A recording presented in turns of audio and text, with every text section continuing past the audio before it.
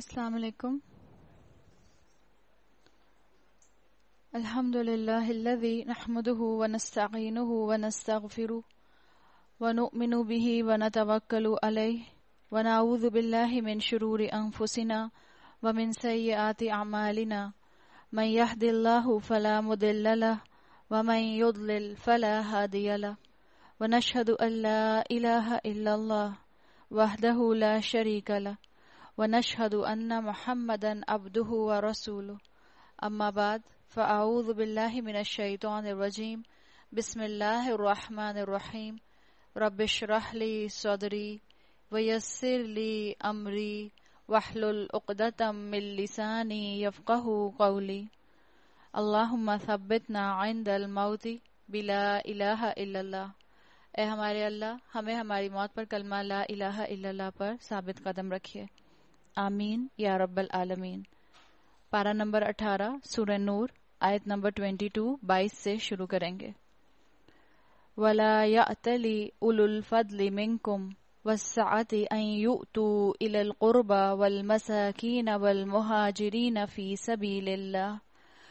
से जो लोग साहिब फजल और साहिब कुदरत हैं, वो इस बात की कसम ना कहा बैठे कि अपने रिश्तेदार, मिस्कीन और महाजिर फ़ी बिल्लाह लोगों की मदद ना करेंगे। उन्हें माफ़ कर देना चाहिए और दरगुजर करना चाहिए। जब हम कल बात कर रहे थे सूर्य नूर में इस मुकाम पर तो वहाँ बात चल रही थी वाक़ इफ़ के ऊपर।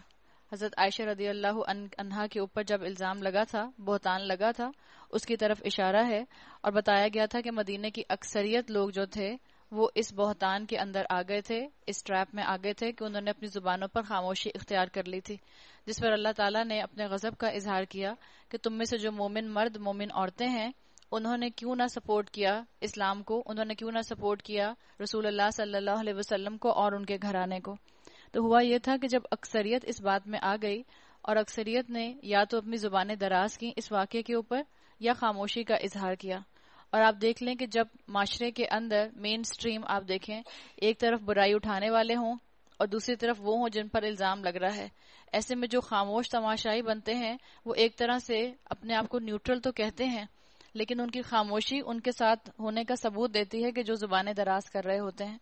तो हुआ यह था कि हज़रत अबू बकर रदी अल्लाह अन की बेटी थी, हज़रत आयशा, और उनकी बेटी पर इल्ज़ाम लग रहे थे उन्होंने खुद तो अपनी बेटी के सपोर्ट में कुछ नहीं बोला, इसलिए कि वो बोलते तो पता चलता कि अपनी बेटी के हक में नहीं बोलेंगे तो और कौन बोलेगा। आप सल्लल्लाहु अलैहि वसल्लम अगर अपनी जौजा के हक में बोलते तो इल्ज़ाम लगता कि अगर आप अपनी जौजा के हक में ना बोलें तो फिर कौन बोलेगा। अगर और कोई रिश्ता जो था वो इस तरह से बोलता तो यही बात होती कि अपने अपने रिश्तेदारों के हक में बोलना तो आसान होता है। तो इन सब हजरात ने खामोशी इख्तियार की। हुआ ये कि हज़रत अबू बकर रदी अल्लाह जो हैं, वो अपने एक रिश्तेदार को सपोर्ट किया करते थे। उनको यूँ समझ लें कि उनका जो था स्कॉलरशिप उन्होंने मंथली लगाया हुआ था। उनका नाम आता है मिस्ता बिन उसासा। इनके रिश्तेदार थे। इसी रॉ में स्कैंडल की ये भी सुना है, आ गए थे, रिवायात में आता है। तो हज़रत अबू बकर ने इरादा ये किया था कि अब आइंदा से इनको सपोर्ट नहीं करेंगे। इस बात के ऊपर अल्लाह ताला ने ये आयत नाजिल की। कि जो तुम लोगों में से ऐसा करेंगे, उनको चाहिए कि माफ़ कर दें उन लोगों को। और अल्लाह की सिफत भी यही है, बता दिया गया, क्या तुम नहीं चाहते कि अल्लाह तुम्हें माफ़ करे? और अल्लाह की सिफत यह है कि अल्लाह गफूर और रहीम है। जो लोग पाक दामन, बेखबर, मोमिन औरतों पर तोहमत लगाते हैं, उन पर दुनिया और आखरत में लानत की गई है और उनके लिए बड़ा अजाब है। आप सल्लल्लाहु अलैहि वसल्लम की हदीस का मफहम आता है, पाक दामन औरतों पर तोहमत लगाना, ये बिल्कुल ऐसा है जैसा कि आपके नेकियों के अंदर कबीरा गुनाह का शामिल हो जाना। तो पाक दामन औरत पर तोहमत लगाना एक कबीरा गुनाह रसूल अल्लाह सल्लल्लाहु अलैहि वसल्लम ने डिक्लेयर किया, जो गुनाह है, और फरमाया कि कौन सा कबीरा गुनाह है? मुबिकात, काट देने वाला कबीरा गुनाह है। अल्लाह ताला ने औरत की इज़्ज़त को यहाँ पर सपोर्ट किया है। अल्लाह को औरत की इज़्ज़त पर गैरत गैरत आ रही है। रसूल सल्लाम की हदीस का ये मफहम भी आता है कि पाक दामन औरत पर तोहमत लगाना जो ऐसा करेगा, वो अपने सौ साल की इबादत को जाया कर देगा। तो अपनी जुबानों को इतना ज़्यादा थाम कर रखने की ज़रूरत है। इस्लाम हमें यही सिखाता है कि अगर तुमने कहीं किसी की बुराई देख ली है, उसको ढांक लो, उसको छुपा लो। वो उस दिन को भूल ना जाएँ, जबकि उनकी अपनी जुबानें और उनके अपने हाथ पाँव उनके करतूतों की गवाही देंगे। उस दिन अल्लाह वो बदला उन्हें भरपूर दे देगा, जिसके वो मुस्तक हैं, और उन्हें मालूम हो जाएगा, अल्लाह ही हक है, जो सच को सच कर दिखाने वाला है। अल खबीसात लिल खबीसीना वल खबीसूना लिल खबीसाती व तोयबात लितोयबीना व तोयबूना लितोयबाती खबीस औरतें खबीस मर्दों के लिए हैं, और खबीस मर्द खबीस औरतों के लिए हैं पाकिजा औरतें पाकिजा मर्दों के लिए हैं और पाकिजा मर्द पाकिजा औरतों के लिए। उनका दामन पाक है उन बातों से जो बनाने वाले बनाते हैं। उनके लिए मगफिरत है और रिस्क करीम है। यूँ समझ लें कि बता दिया गया कि नेक रूह नेक रूह के साथ ही एडजस्ट कर सकती है।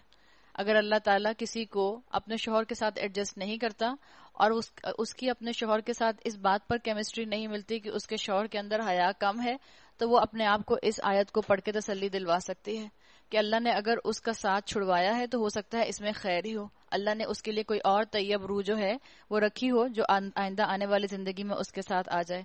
वरना होता यही है कि birds of a feather flock together एक जैसे लोग जो हैं, वो अक्सर और बेशतर एक साथ इकट्ठे हो जाते हैं।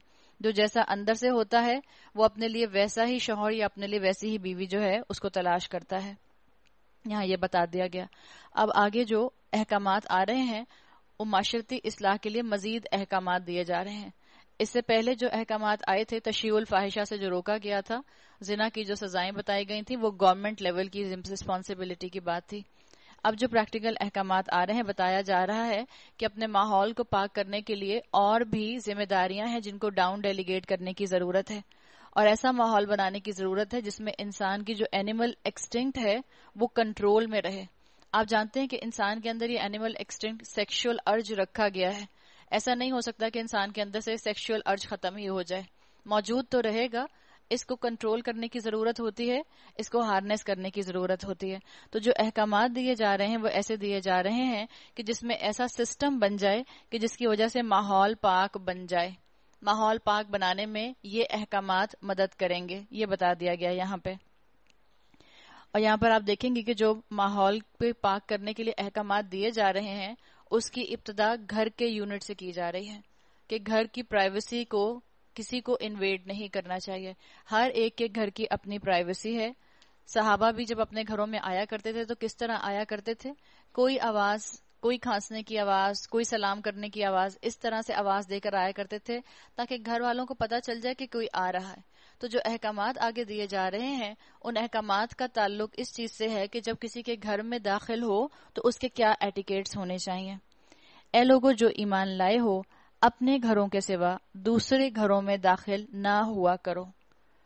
क्या दाखिल ही ना हो बल्कि अल्लाह ताला ने एक्सेप्शन दिया, तरीका बताया, मना नहीं किया। अगर आप कुरान की सिर्फ़ इतनी आयत उठाकर कहें कि हम कुरान को कुरान से ही समझेंगे और इतनी सी आयत उठाकर कहें कि अच्छा किसी के घर में दाखिल नहीं हुआ जा सकता तो कुरान को पूरी आयात के साथ कॉन्टेक्स्ट के साथ देखा जाता है और उसूल फिक है एक कि जब भी आपको कोई कानून डिराइव करना होता है तो किसी एक टॉपिक पर कुरान में जितनी भी आयात आती हैं, उन सबको इकट्ठा किया जाता है उसके बारे में जो अहादीस अलैहि वसल्लम की उसकी एक्सप्लेनेशन में आती हैं, उनको देखा जाता है और उसके बाद उससे कवानीन अखज किए जाते हैं। तो यहाँ इतनी आयत का हिस्सा अगर आपने समझा तो आपको कहेंगे कि अच्छा हम कहीं जा ही नहीं सकते किसी के घर। अल्लाह ने आगे कंडीशन बताई, जब तक कि घर वालों की रजा ना ले लो और घर वालों पर सलाम ना भेज लो, ये तरीका तुम्हारे लिए बेहतर है। मिसाल के तौर पर बता दिया गया कि किसी के घर में दाखिल हो तो कैसे दाखिल हो? इजाज़त लेकर दाखिल हो। उससे पूछ लो, दरवाज़ा खटखटाओ। आप सल्लल्लाहु अलैहि वसल्लम ने यह भी बताया कि अगर तुम तीन दफ़ा दरवाज़ा खटखटाओ और उसके बाद कोई जवाब ना आए तो पलट जाओ। अभी आगे भी आ जाएगा यहाँ सूर्य नूर के अंदर भी। तो अल्लाह ताला ने मुझे और आपको ये अहकाम दिए हैं, साढ़े चौदह सौ साल पहले भी दिए थे, और आज भी ये कवानीन वैसे ही आपके और मेरे लिए एप्लीकेबल हैं, जैसे इतने सौ साल पहले थे। उस दौर में दरवाज़ा खटखटाने तक की नौबत होती थी, इसलिए कि कम्युनिकेशन के और कोई रिसोर्सेज मौजूद नहीं थे। आज आपके और मेरे लिए मोबाइल फोन्स मौजूद हैं लैंडलाइंस मौजूद हैं। आप लैंडलाइन पे कॉल करके बताएँ कि मैं फलाम वक्त पर आपके घर आना चाह रही हूँ। आप फारिग होंगी, आपकी कोई कमिटमेंट तो नहीं है, आपको कहीं जाना तो नहीं है। तो इन सारी चीज़ों को आपको और मुझे आज की ज़िंदगी में भी अप्लाई करने की ज़रूरत है। इसको हम ये कह के, कि ये वेस्ट के तरीके मुसलमानों ने अपना लिए और इससे तो अपनाइत महसूस ही नहीं होती। जब दिल चाहे किसी के घर हम जा ही नहीं सकते। ये बिल्कुल गलत सोच है, गलत अप्रोच है। मुसलमान का तरीका कुरान में उसको सिखाया गया है कि जब किसी के घर जाना चाहो तो उससे इजाज़त तलब कर लो। उसको मेंशन कर दो कि हम आ रहे हैं। तो है कि तुम इसका ख्याल रखोगे। ऐसा ना हो, आजकल के दौर में ये भी कहा जाता है कि इस कानून को इस तरह अप्लाई ना किया जाए कि आप गेट पर बेल बजाने इंटरकॉम बजा के खड़े हो गए कि मैं आ गई हूँ, क्या मैं अंदर आ जाऊँ? हो सकता है उनकी दस मसरूफियात हों जो साहिबा अंदर हैं, जिनसे आप मिलने आई हैं। हो सकता है उनको एक घंटे के बाद कहीं जाना हो। हो सकता है वो किसी काम की तैयारी में मसरूफ हो। तो बेहतर क्या है आज के दौर में कि दरवाजे की दस्तक तक नहीं मुझे और आपको पहुँचना। आज के दौर में एटिकेट्स इसके ऐसे अप्लाई करेंगे। जब हमारे पास इतने अच्छे कम्युनिकेशन के जराये आ गए हैं तो इन कम्युनिकेशन के जराये का आप और मैं बेहतरीन फ़ायदा उठाएँ। आप एसएमएस कीजिए, आप फ़ोन कॉल कीजिए और पहले बताइए कि मैं फला दिन या फला वक्त पर आना चाह रही हूँ, आप फारिग होंगी। और मुसलमानों का काम क्या होता है कि जब कवानीन सुन लिए तो उस पर अमल करना शुरू कर दें। अपने घरों के अंदर इस आदत को डालना शुरू करें। हो सकता है लोग आपके घर में बगैर फ़ोन के आ जाएँ। कोई बात नहीं। आप अपनी आदत बना लें। आप किसी के भी घर जाएँगी, फ़ोन करके जाएँगी।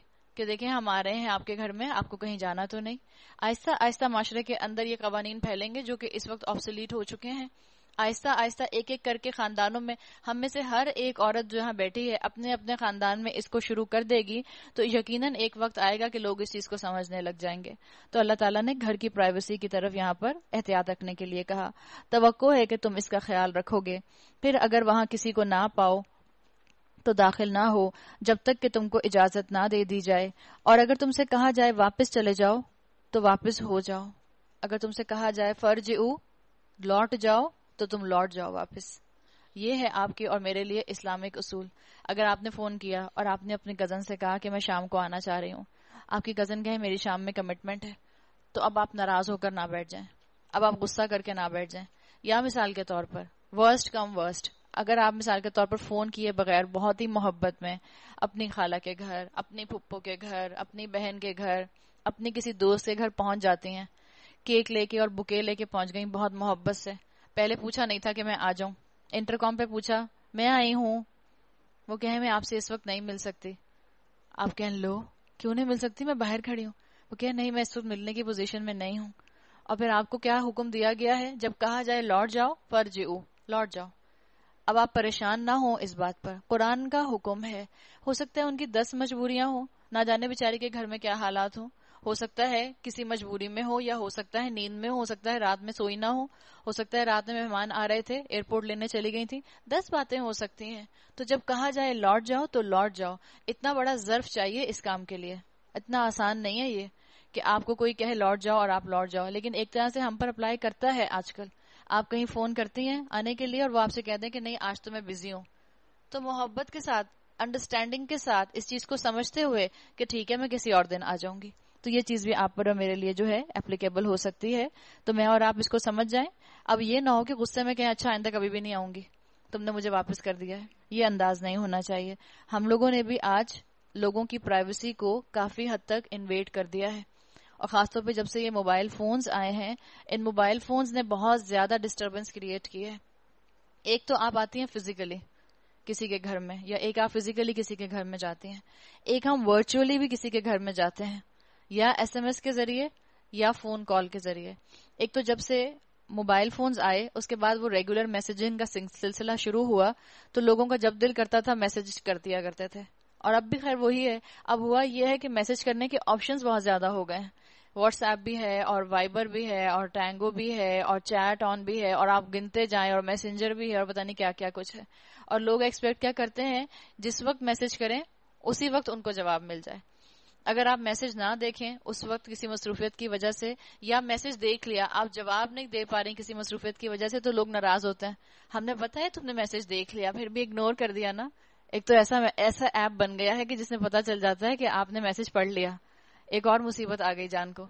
कि मैसेज पढ़ लिया, पता चला आप उस वक्त जवाब देने की सिचुएशन में नहीं है। किसी ने आपसे कोई ऐसा सवाल पूछ लिया जो आप पढ़े बगैर जवाब नहीं दे सकते। तो ज़ाहिर बात है, इंसान खामोशी इख्तियार करेगा ना उसके ऊपर। ना कि हम उसके बारे में बदगुमान हो। बेहतर है कि हम अच्छा गुमान रखें। अल्लाह के रसूल सल्लल्लाहु अलैहि वसल्लम ने फरमाया कि तुम अपने मोमिन भाई के लिए जब कोई बात सोचो तो पहले सेवेंटी एक्सक्यूजेस तलाश कर लो। अच्छा ये बात हो गई होगी, ये वजह हो गई होगी, ये प्रॉब्लम हो गई होगी, तब जाके तुम्हारा दिल जो है वो बदगुमानी की तरफ़ आए। तो बता दिया गया कि एक्सक्यूजेस तलाश ना करो इस तरह से और लोगों की प्राइवेसी को डिस्टर्ब ना करो। अब कोई आपसे कहे, आपको पास फ़ोन आए और आपने मुसीबत में अपना सेल फ़ोन उठा लिया और आपसे कोई पूछे कि मैं आ रही हूँ एक घंटे में, आप कहें, मैं तो सो रही हूँ। तो अब वो कहें कि, नहीं, तुम तो मुझसे बात कर रही हो। तो यही सब चीज़ें हैं, इसके लिए मुझे और आपको एक दूसरे को अकोमोडेट करना पड़ेगा। और जब तक मैं और आप इस अंडरस्टैंडिंग के साथ दीन को नहीं लेंगे, आप देखें दीन की कितनी खूबसूरती है। कहाँ कानून विरासत? कहाँ तलाक के कवानीन? कहाँ औरतों को मेहर देने की बातें? कहा आप सल्लल्लाहु अलैहि वसल्लम के ज़रिए वो अहकाम जो इस्लामिक सिस्टम के अंदर सजाओं के नफाज में काम आएँगे? और कहा ये बिल्कुल घर के अंदर की बातें? बता दिया गया कि किस तरह करो। और कोशिश करके अपने सेलफोन्स को एक टाइम रात का रख लें जिस पर आप साइलेंट कर लिया करें। आपके घर का भी एक वक्त है, आपके घर की भी एक प्राइवेसी लाइफ है, आपके घर के अंदर भी लोग हैं जिनको आपकी ज़रूरत है। हर वक्त मोबाइल फ़ोन का टू टू टू बजते रहना और मेरा और आपका उसको जवाब देते रहना, इससे हो सकता है घर वाले इरिटेट हो रहे हों। इससे घर की लाइफ डिस्टर्ब हो सकती है। तो इसको मिनिमम करें और अपना एक टाइम ज़रूर रखें। आपसे मिलने वाले लोगों को, आपसे मुलाकात करने वाले लोगों को, आपके दोस्तों को ये बात मालूम होनी चाहिए कि मिसाल के तौर पे आप 11 बजे के बाद मैसेज का जवाब नहीं देंगे। कोई हार्ड एंड फास्ट नहीं है। इन जनरल अपना एक रूल बना सकते हैं। कभी दे भी दिया, लेकिन इन जनरल अपने घर की लाइफ को डिस्टर्ब ना करें। ये चीज़ मुझे और आपको सीखनी है। और इस्लाम देखे, मुझे और आपको कितना ब्रॉड माइंडेड होना सिखाता है कि एक दूसरे को अगर मना कर दो तो इसको खुले दिल के साथ एक्सेप्ट कर लो। तो है कि तुम इसका ख्याल रखोगे। फिर वहाँ अगर किसी को ना पाओ तो दाखिल ना हो और तुमको इजाज़त ना दी जाए तो तुमसे कहा जाए, वापस चले जाओ तो चले जाओ। ये तुम्हारे लिए ज़्यादा पाकिजा तरीका है। जो कुछ तुम करते हो, अल्लाह उसे खूब जानता है। अलबत्ता तुम्हारे लिए इसमें कोई मुजायका नहीं है कि ऐसे घरों में दाखिल हो जाओ, जिस जो किसी के रहने की जगह ना हो, जिनमें तुम्हारे फ़ायदे या काम की कोई चीज़ हो, यानी पब्लिक प्लेसेस की बात है। जो तुम कुछ ज़ाहिर करते हो और जो कुछ तुम छुपाते हो, सबको अल्लाह की खबर है। सब की अल्लाह को खबर है। बता दिया गया कि ब्रॉड माइंडेड बनो लिबरल बनना है, इस मामले में लिबरल बनो, इस मामले को खुले दिल के साथ सोचो। आगे, मजीद अहकाम आ रहे हैं। हुकूमत की ज़िम्मेदारी बता दी, माशरे की ज़िम्मेदारी बता दी। ये माशरे की ज़िम्मेदारी है ना कि जब आप किसी के घर जाएँ तो क्या तरीका कार इख्तियार करें? तो माशरे के बेसिस पर, माशरे के लेवल पर क्या असलाहत होंगी वो बता दी। अब स्पेसिफिक किया जा रहा है जिम्मेदारियों को। किस तरह से? पहले मर्दों की बात आएगी। मर्दों की ज़िम्मेदारी बताई जाएगी, फिर औरतों की बात आएगी, औरतों की ज़िम्मेदारी बताई जाएगी। तुम्हें माशरे को पाक करना है तो तुम सबको मिलजुल कर एफर्ट करनी होंगी। चाहे स्टेट लेवल हो, चाहे सोसाइटी लेवल हो, चाहे मर्दों की बात हो, चाहे घरों की बात हो या चाहे औरतों की बात हो। अगर जिना से तुम्हें अपने माशरे को बचाना है तो तुम्हें ये इकदाम करने होंगे ताकि इंसान की इज़्ज़त की हिफाजत हो सके और इस्लाम के अंदर इंसान की इज़्ज़त की बहुत कदर है। तो मर्दों को एड्रेस किया गया। ए नबी सल्लल्लाहु अलैहि वसल्लम, मोमिन मर्दों से कहिए, अपनी नज़रों को बचा कर रखें। और अपनी शर्मगाहों की हिफाजत करें, यानी गलत नज़र ना डालें। उनके लिए ज़्यादा पाकिजा तरीका है, जो कुछ वो करते हैं, अल्लाह उससे बाखबर है। दो हुक्म मर्दों को दिए गए। क्या अपनी नज़रें बचा कर रखें और अपनी शर्मगाहों की हिफाजत करें? अल्लाह ताला ने ज़िम्मेदारी बता दी मर्दों को कि तुम्हें जो है साइट सीन्स देखने के लिए मना नहीं किया जा रहा। बल्कि तुम्हें गलत निगाह डालने से मना किया जा रहा है। लस्ट की निगाह डालने से मना किया जा रहा है। ये नहीं कहा जा रहा कि नज़रें बचा कर रखो, पता चला कि अब आप नारायण गए हुए हैं। आप नज़र उठा के सैफुल मलूक को ही नहीं देख रहे। आपके मैंने कुरान में पढ़ा था, अपनी नज़रें बचा कर रखो? यहाँ मतलब नहीं है। हर कोई अकलमंद समझ सकता है। और आप देख लें, इस हुक्म से पहले भी ये हुक्म कहलवाया गया है अल्लाह के रसूल सल्लल्लाहु अलैहि वसल्लम के ज़रिए। जब कोई हुक्म हमने पढ़ा था कि अल्लाह के रसूल सल्लल्लाहु अलैहि वसल्लम के ज़रिए कहलवाया जाता है, मकसद क्या होता है? अल्लाह के रसूल उसका स्टैंडर्ड तुमको सेट करके बता देंगे। अल्लाह के रसूल सल्लल्लाहु अलैहि वसल्लम की सीरा उसको तुम्हें प्रैक्टिकली करके दिखा देगी। तो अल्लाह के रसूल सल्लल्लाहु अलैहि वसल्लम से देखना, उनसे सीखना, उन्होंने इस चीज़ को अपने ऊपर कैसे अप्लाई किया? अपने सहाबा पर जिनकी तरबियत की, उनको कैसे सिखाया? तो बता दिया गया कि मोमिन जो हैं, वो अपनी नज़रों की हिफाजत करें। कैसे कि लस्ट भरी निगाह जो है वो किसी औरत पर ना डालें। मत इस चीज़ की फ़िक्र करें कि औरत ने क्या पहना है। अपनी नज़रों को छुपा कर रखें बचा कर रखें, उनकी हिफाजत करें। इसलिए कि अल्लाह ताला तो नज़रों की खयानत को भी जानते हैं। अब ये नहीं कहा जा रहा कि आई स्पेशलिस्ट मेल डॉक्टर है और उसके पास फीमेल पेशेंट आती है। अब उसकी आँखें चेक करनी है और डॉक्टर साहब जो है वो आँखें चेक ही नहीं कर रहे उसकी, इसलिए कि अपनी आँखें नीचे करके बैठे हैं। तो इतना तो हम में से हर कोई समझ सकता है। इस्लाम का मज़ाक बनाने वालों ने यहाँ तक मज़ाक बनाया कि जब ऐसी आयात उनके सामने आती हैं तो वो कहते हैं, लो, अब अगर डॉक्टर होगा और सामने उसकी पेशेंट आएगी तो क्या वो उसको देखे नहीं? इट्स वेरी लॉजिकल इसकी बात नहीं है। यहाँ किस चीज़ की तरफ़ इशारा किया गया है? जिना से रिलेटेड जिना के रास्तों के करीब जाने वाले भी अमाल से रोका जा रहा है।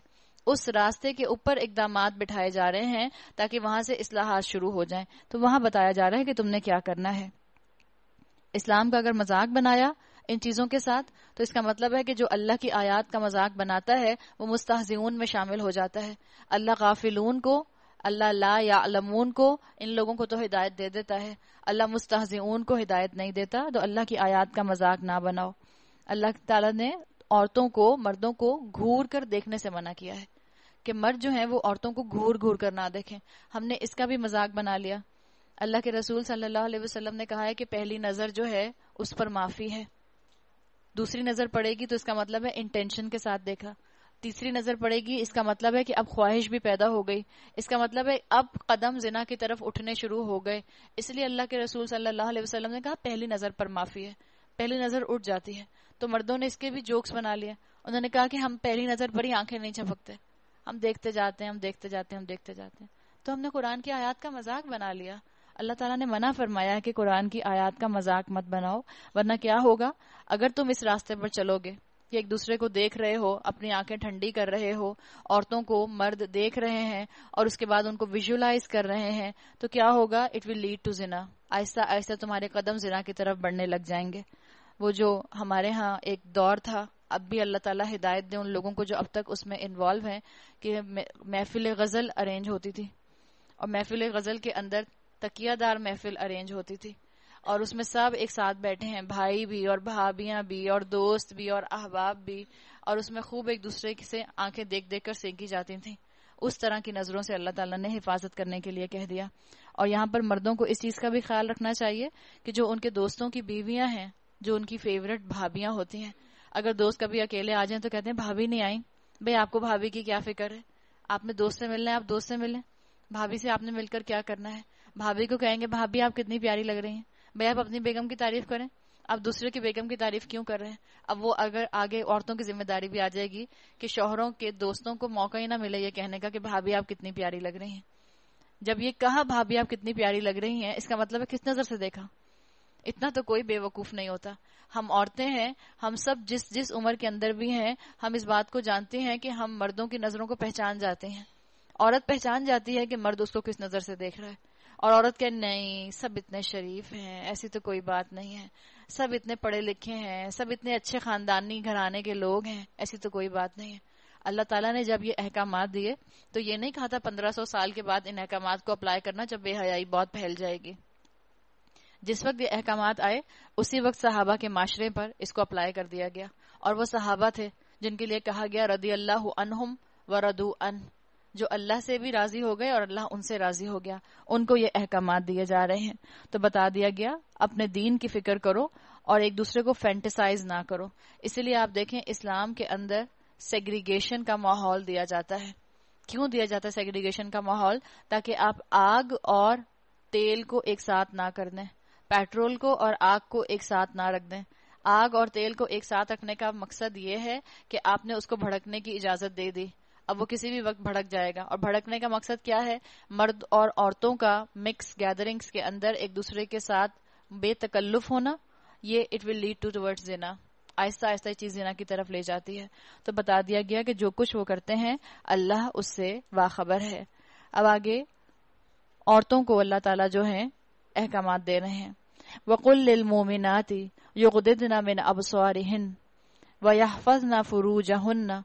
वला युबदीन जीनतहुन्ना इल्ला मा ज़हरा मिनहा वलियदरिबना बिखुमरिहिन्ना अला जुयूबिहिन और ए नबी सल्लल्लाहु अलैहि वसल्लम औरतों से कहा जा रहा है रसूल अल्लाह सल्लल्लाहु अलैहि वसल्लम के ज़रिए मोमिन औरतों से कह दीजिए क्या आप अपने आप को मोमिन समझती हैं अल्लाह ताला ने कहा लिल मोमिनाती मोमिन औरतों से कह दीजिए अगर तो मैं अपने आप को मोमिन औरत समझती हूँ अगर मैं अपने आप को कलमा गो मुसलमान समझती हूँ, अगर मैं इस बात का दावा करती हूँ कि हाँ मुझे आखिरत पर ईमान है, ईमान बिल आखरा है, मेरा ईमान है कि मैंने अल्लाह को हिसाब देना है, मेरा ईमान है कि एक दिन मैंने अल्लाह के सामने जाकर खड़े होना है, मेरा ईमान है कि एक दिन जो है वो घर बंदा दिए जाएँगे या जन्नत में या दोजख में तो मैं अपने आप को इस कैटेगरी में लेकर आऊँगी कि ये मुझसे कहा जा रहा है।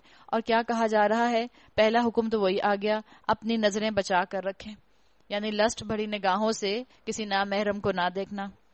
दूसरा हुक्म आया, अपनी शर्मगाहों की हिफाजत करें। बता दिया गया, जब नज़र खराब होती है तो अल्टीमेटली इंसान को जिना जो है, वो शर्मगाह के गुनाह तक ले जाता है। तो दो हुक्म तो वही आ गए, जैसा कि मर्दों को दिए गए थे। तीसरा, एक एडिशनल हुक्म जो है, वो खातन को खास तौर पर दिया गया है। वला युबदीन जी नतहुन और अपना बनाओ सिंगार ना दिखाएँ। बता दिया गया यहाँ पर कि अल्लाह ताला ने क्योंकि औरत को हुसन ज़्यादा दिया है। अल्लाह ने जीनत की चीज़ें औरत के लिए ज़्यादा बनाई हैं तो अल्लाह ने औरत की एक एडिशनल ज़िम्मेदारी रखी है। तो यहाँ पर औरतों को तीन अहकाम दिए गए हैं, नज़रों की हिफाजत के हवाले से और मर्दों को दो अहकाम दिए गए हैं। अभी जो नज़रों की हिफाजत की बात है और ये जहाँ ये जो आयात शुरू हो रही हैं, कुल मोमिनात मोमिनात से कहा जा रहा है तो अगर अब तक का कुरान सुनकर किसी औरत के दिल में, किसी मोमिना औरत के दिल में जिहाद की फीलिंग्स आई थी तो अब यहाँ से आपकी और मेरे जिहाद करने का अमल शुरू हो रहा है। पीछे भी बहुत से अमाल गुजर चुके जिनको हम अपनी ज़िंदगी में फ़ौरन के फ़ौरन शामिल कर सकते हैं। यहाँ से भी ऐसा अमल बता दिया गया जिसको फ़ौरन अपनी ज़िंदगी में हम शामिल करके जिहाद को शुरू कर सकते हैं। और क्या है जिहाद? कि सोशली रिस्पॉन्सिबल बिहेवियर शो करो। अपने आप को एक जिम्मेदार शहरी, जिम्मेदार मुसलमान बनाकर माशरे के सामने लेकर आओ। मोमिन औरत जो होती है, मोमिन लड़कियाँ जो होती हैं, मोमिन टीन एजर्स बच्चियाँ जो होती हैं, वो गैर महरम के मर्दों के पोस्टर्स पर देख देख कर हाय, वाओ यस ये ऐसी आवाज़ें नहीं निकालती। या मोमिन लड़कियाँ जो होती हैं, मोमिन बच्चियाँ जो होती हैं, वो नामहरम मर्दों के पोस्टर्स अपनी अलमारियों के अंदर के पोर्शन में नहीं लगाती ताकि अम्मा को पता ही ना चले। और फिर देख देख कर आहें नहीं भरती। अम्मा कहे, मेरी बेटी अलमारी से बाहर ही नहीं निकलती। क्या करती रहती है? हर वक्त अलमारी सेट करती रहती है मेरी बेटी। तो अल्लाह ताला ने हम सबको अमल करने के लिए यहाँ पर बता दिया कि तुम्हारे लिए, सब के लिए अमल करने के लिए यहाँ पर राहें मौजूद हैं। हया ईमान का हिस्सा है। आप सल्लल्लाहु अलैहि वसल्लम ने फरमाया, जब हया चली जाती है तो ईमान चला जाता है, या वाइस वर्षा ये दोनों चीज़ें साथ साथ हैं कॉम्प्लीमेंट्री हैं। औरतों को अल्लाह ताला ने क्यों के मर्दों के मुकाबले में हुसन ज़्यादा दिया है? आप देखें, बाकी जितनी भी मखलूकत हैं, उनमें आपको जो मेल एलिमेंट है, वो ज़्यादा खूबसूरत लगता है। मोर पीकॉक को देखें।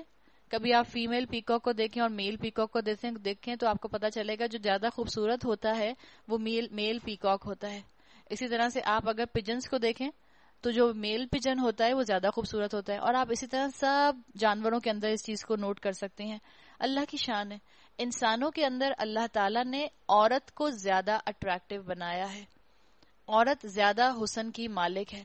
जब अल्लाह ताला ने औरत को हुसन ज़्यादा दिया तो उस पर ज़िम्मेदारी भी डाल दी कि अपने हुसन को दिखाती ना फिरे। इसलिए उसके लिए कह दिया गया, अपना बनाव सिंगार ना दिखाएँ। अब अपना बनाव सिंगार ना दिखाएँ तो इसके लिए दो ही तरीके हो सकते हैं। अपने घर की चार दीवारी से बाहर ना निकलें। और दूसरा तरीका क्या है? जब निकलें तो अपने आप को छुपा कर निकले। तो बता दिया गया कि क्या ज़िम्मेदारी दी जा रही है। हम जो बार बार पर्दे का, पर्दे के अहकाम पर्दे के अहकाम का पढ़ते हैं तो यहाँ पर पर्दे के अहकाम का एक एंगल आएगा। दूसरा एंगल सुरह अहजाब के अंदर आएगा। यूँ समझ लें कि यहाँ जो अहकाम है, वो घर के अंदर औरत को बता दिए गए। तुम्हारे घर में जब कोई पार्टी हो रही है, तुम जब किसी को अपने घर पर इनवाइट कर रही हो, या जब तुम खानदान वाले सब इकट्ठे हो, या मिसाल के तौर पर जो है, कोई ऐसा मौका है जिसमें मर्द और औरतें जो है वो सब इकट्ठे हो रहे हैं, किसी भी वजह से तो बता दिया गया कि उस वक्त तुमने क्या करना है। और ये ऐसे अहकाम हैं जो अर्जेंट भी हैं और इम्पोर्टेंट भी हैं। इसलिए कि मैंने अहकाम सुन लिए, उसके बाद मैंने इस पर अमल करना नहीं शुरू किया तो मेरी ज़्यादा पकड़ होगी। जिसके पास इल्म आ जाए और वो उस इल्म के आ जाने के बाद अपने अमल की इसलाह ना करे तो उसकी ज़्यादा पकड़ है। इल्म वाले की ज़्यादा पकड़ है ला इल्म के मुकाबले में। तो बता दिया गया कि क्या करो? अल्लाह ने कहा, अपना बनाओ, सिंगार ना दिखाओ। बजुज इसके जो खुद ज़ाहिर हो जाए। मिसाल के तौर पे खुद ज़ाहिर क्या होगा? हम कहें, दुबट्टा ओढ़ा हुआ था शिफोन का, हवा से उड़ गया तो अब खुद ही तो सब ज़ाहिर हो गया। नहीं, इसकी मतलब ये नहीं कहा जा रहा। स्कॉलर्स कहते हैं, इल्ला मजाहरा मिन के अंदर ये चीज़ आती है। मिसाल के तौर पर एक औरत ने अपने आप को सर से पाँव तक चादर में, अबाए में, गाउन में पौचों में कवर कर लिया। लेकिन फिर भी उसका कद तो उसमें से छलकता ही है। किसी औरत ने अपने आप को पूरा ढांक लिया, अपनी स्किन को मैक्सिमम कवर कर लिया, फिर भी उसके हाथों से आपको उसके रंगत का एहसास हो ही जाता है। आपको एक औरत के जिसम का एहसास बहरहाल उसके अबाए के अंदर उसकी चादर के अंदर हो ही जाता है। ये चीज़ आती है इल्ला जहरा मिन में कि जो खुद ब खुद ऑटोमेटिक अब जिसको इंसान छुपा नहीं सकता बजाय सिर्फ़ इस, किस तरह छुपा सकता है कि फिर इंसान अपने कमरे से बाहर ना निकले जो कि मुमकिन नहीं है। तो कह दिया गया इल्ला जहरा मिन जो चीज़ें खुद ज़ाहिर हो जाएँ उसको छोड़ दो। बजुज इसके जो खुद ज़ाहिर हो जाए और अपने सीनों पर अपनी ओढ़नियों के आंचल डाले रहें। तो अल्लाह ताला ने यहाँ पर मुझे और आपको पर्दे के अहकाम दे दिए। अब आप और मैं शुरू कहाँ से करें? क्या करें? आपको सूर्य आराफ जब बताई थी और लिबास का मकसद आया था, तब आपको बता दिया था कि औरत का सतर क्या है। औरत का और क्या है? औरत का और ये है कि औरत का चेहरा सिर्फ़ उसके दो हाथ और दो पाँव। सिर्फ़ ये खुल सकते हैं, बाकी पूरी औरत और है। और कहते हैं छुपी हुई चीज़ जिसको छुपा कर रखा जाए। पूरी औरत और है, वो छुपा कर रखी जाएगी। और ये जो औरत का और है, ये कवर होगा स्कॉलर्स के नज़दीक बाद स्कॉलर्स के नज़दीक कि इस चीज़ को वो बेसिकली अपने सिर्फ़ महरम रिश्तेदारों के सामने खोल सकती है, जिसकी लिस्ट अभी आपको बता दी जाएगी। और उसमें भी दर्जे होंगे। मिसाल के तौर पर मैं अपना और और कवर कैसे होगा? ऐसे नहीं कि ऐसे है दुबट्टा मेरा। और मेरा हेयर लाइन भी नज़र आ रहा है और मेरे बाल भी नज़र आ रहे हैं और जो मैंने कानों में पहना वो भी नज़र आ रहा है और जो मैंने गले में पेंडेंट पहने वो भी नज़र आ रहे हैं। सतर कवर करने का मतलब क्या होता है कि आप अपना दुबट्टा, एक तो आपका दुबट्टा मोटा हो, शिफोन का दुबट्टा ना हो, आपका सिल्क का दुबट्टा ना हो जो हवा से उड़ रहा है, और अक्सर और बेशतर सिल्क का दुबट्टा अगर पीछे से हवा आती है तो ऐसा उड़ता है कि बाहर से निकल के पूरा जो है आपके हाथ में आ जाता है। चाहे आपने यहाँ पिनअप भी किया होता है। एक जमाने में जब मैं दुबट्टा पिनअप करती थी तो ये मेरे साथ हो चुका था। सिल्क का दुबट्टा पिनअप किया हुआ था और वो पंखे चल रहे थे, पता चला पता नहीं किस एंगल से पीछे हवा भरी, वो दुबट्टा सारा जो है वो उतर के और हाथ में दुबट्टा। तो ऐसा हो जाता है। तो क्या है मकसद? मोटा दुबट्टा हो, ऐसा दुबट्टा ना हो जिससे कि आपका जिसम छलके, जिससे कि आपके बाल छलके। मोटे दुबट्टे को आप बाकायदा पकड़कर पिनअप करेंगी। जब आपने पिनअप कर लिया और आपकी पूरी फुल आस्तीने हैं यहाँ तक, और आपने जो ट्राउज़र पहना हुआ है, उससे आपकी एंकल्स नज़र नहीं आ रहे। एंकल नज़र नहीं आने चाहिए। इसका मतलब है आपने अपना और कवर कर लिया। और और कवर करने का मकसद मकसद भी देख लें क्या है, ताकि औरत की स्किन छुपी रहे। तो अगर आप अभी तक इस स्टेज पर नहीं थे, तब आप स्टेप बाय स्टेप आगे बढ़ना शुरू करें। स्टेप बाय स्टेप अमल पर आना शुरू करें। अगर अब तक आप में से कोई अपने और को कवर करने का एहतमाम नहीं करती थी, अब आप पहला स्टेप ये ले ले कि आप अपने और को कवर करना शुरू करें। मैक्सिमम स्किन को कवर कर लें। सिर्फ़ आपका चेहरा खुला रह जाए और उसके बाद आपके दो हाथ खुले रह जाएँ और आपके दो पैर जो हैं, वो नज़र आ सकते हैं आराम से। बाकी आपका पूरा जिसम जो है, वो कवर होना चाहिए। हम इरादा हो सकता है अभी दिल में आए, ख्याल अच्छा मैं करूँ, फिर हम सोचें अच्छा ऐसा करूँगी कि हज पर जा रही हूँ ना, हज से आऊँगी तो फिर कर लूँगी। डिले मत करें। क्या पता हज करना नसीब भी हो कि ना हो। अल्लाह सबको जिन्होंने नियत किया उनको हज नसीब करवाए।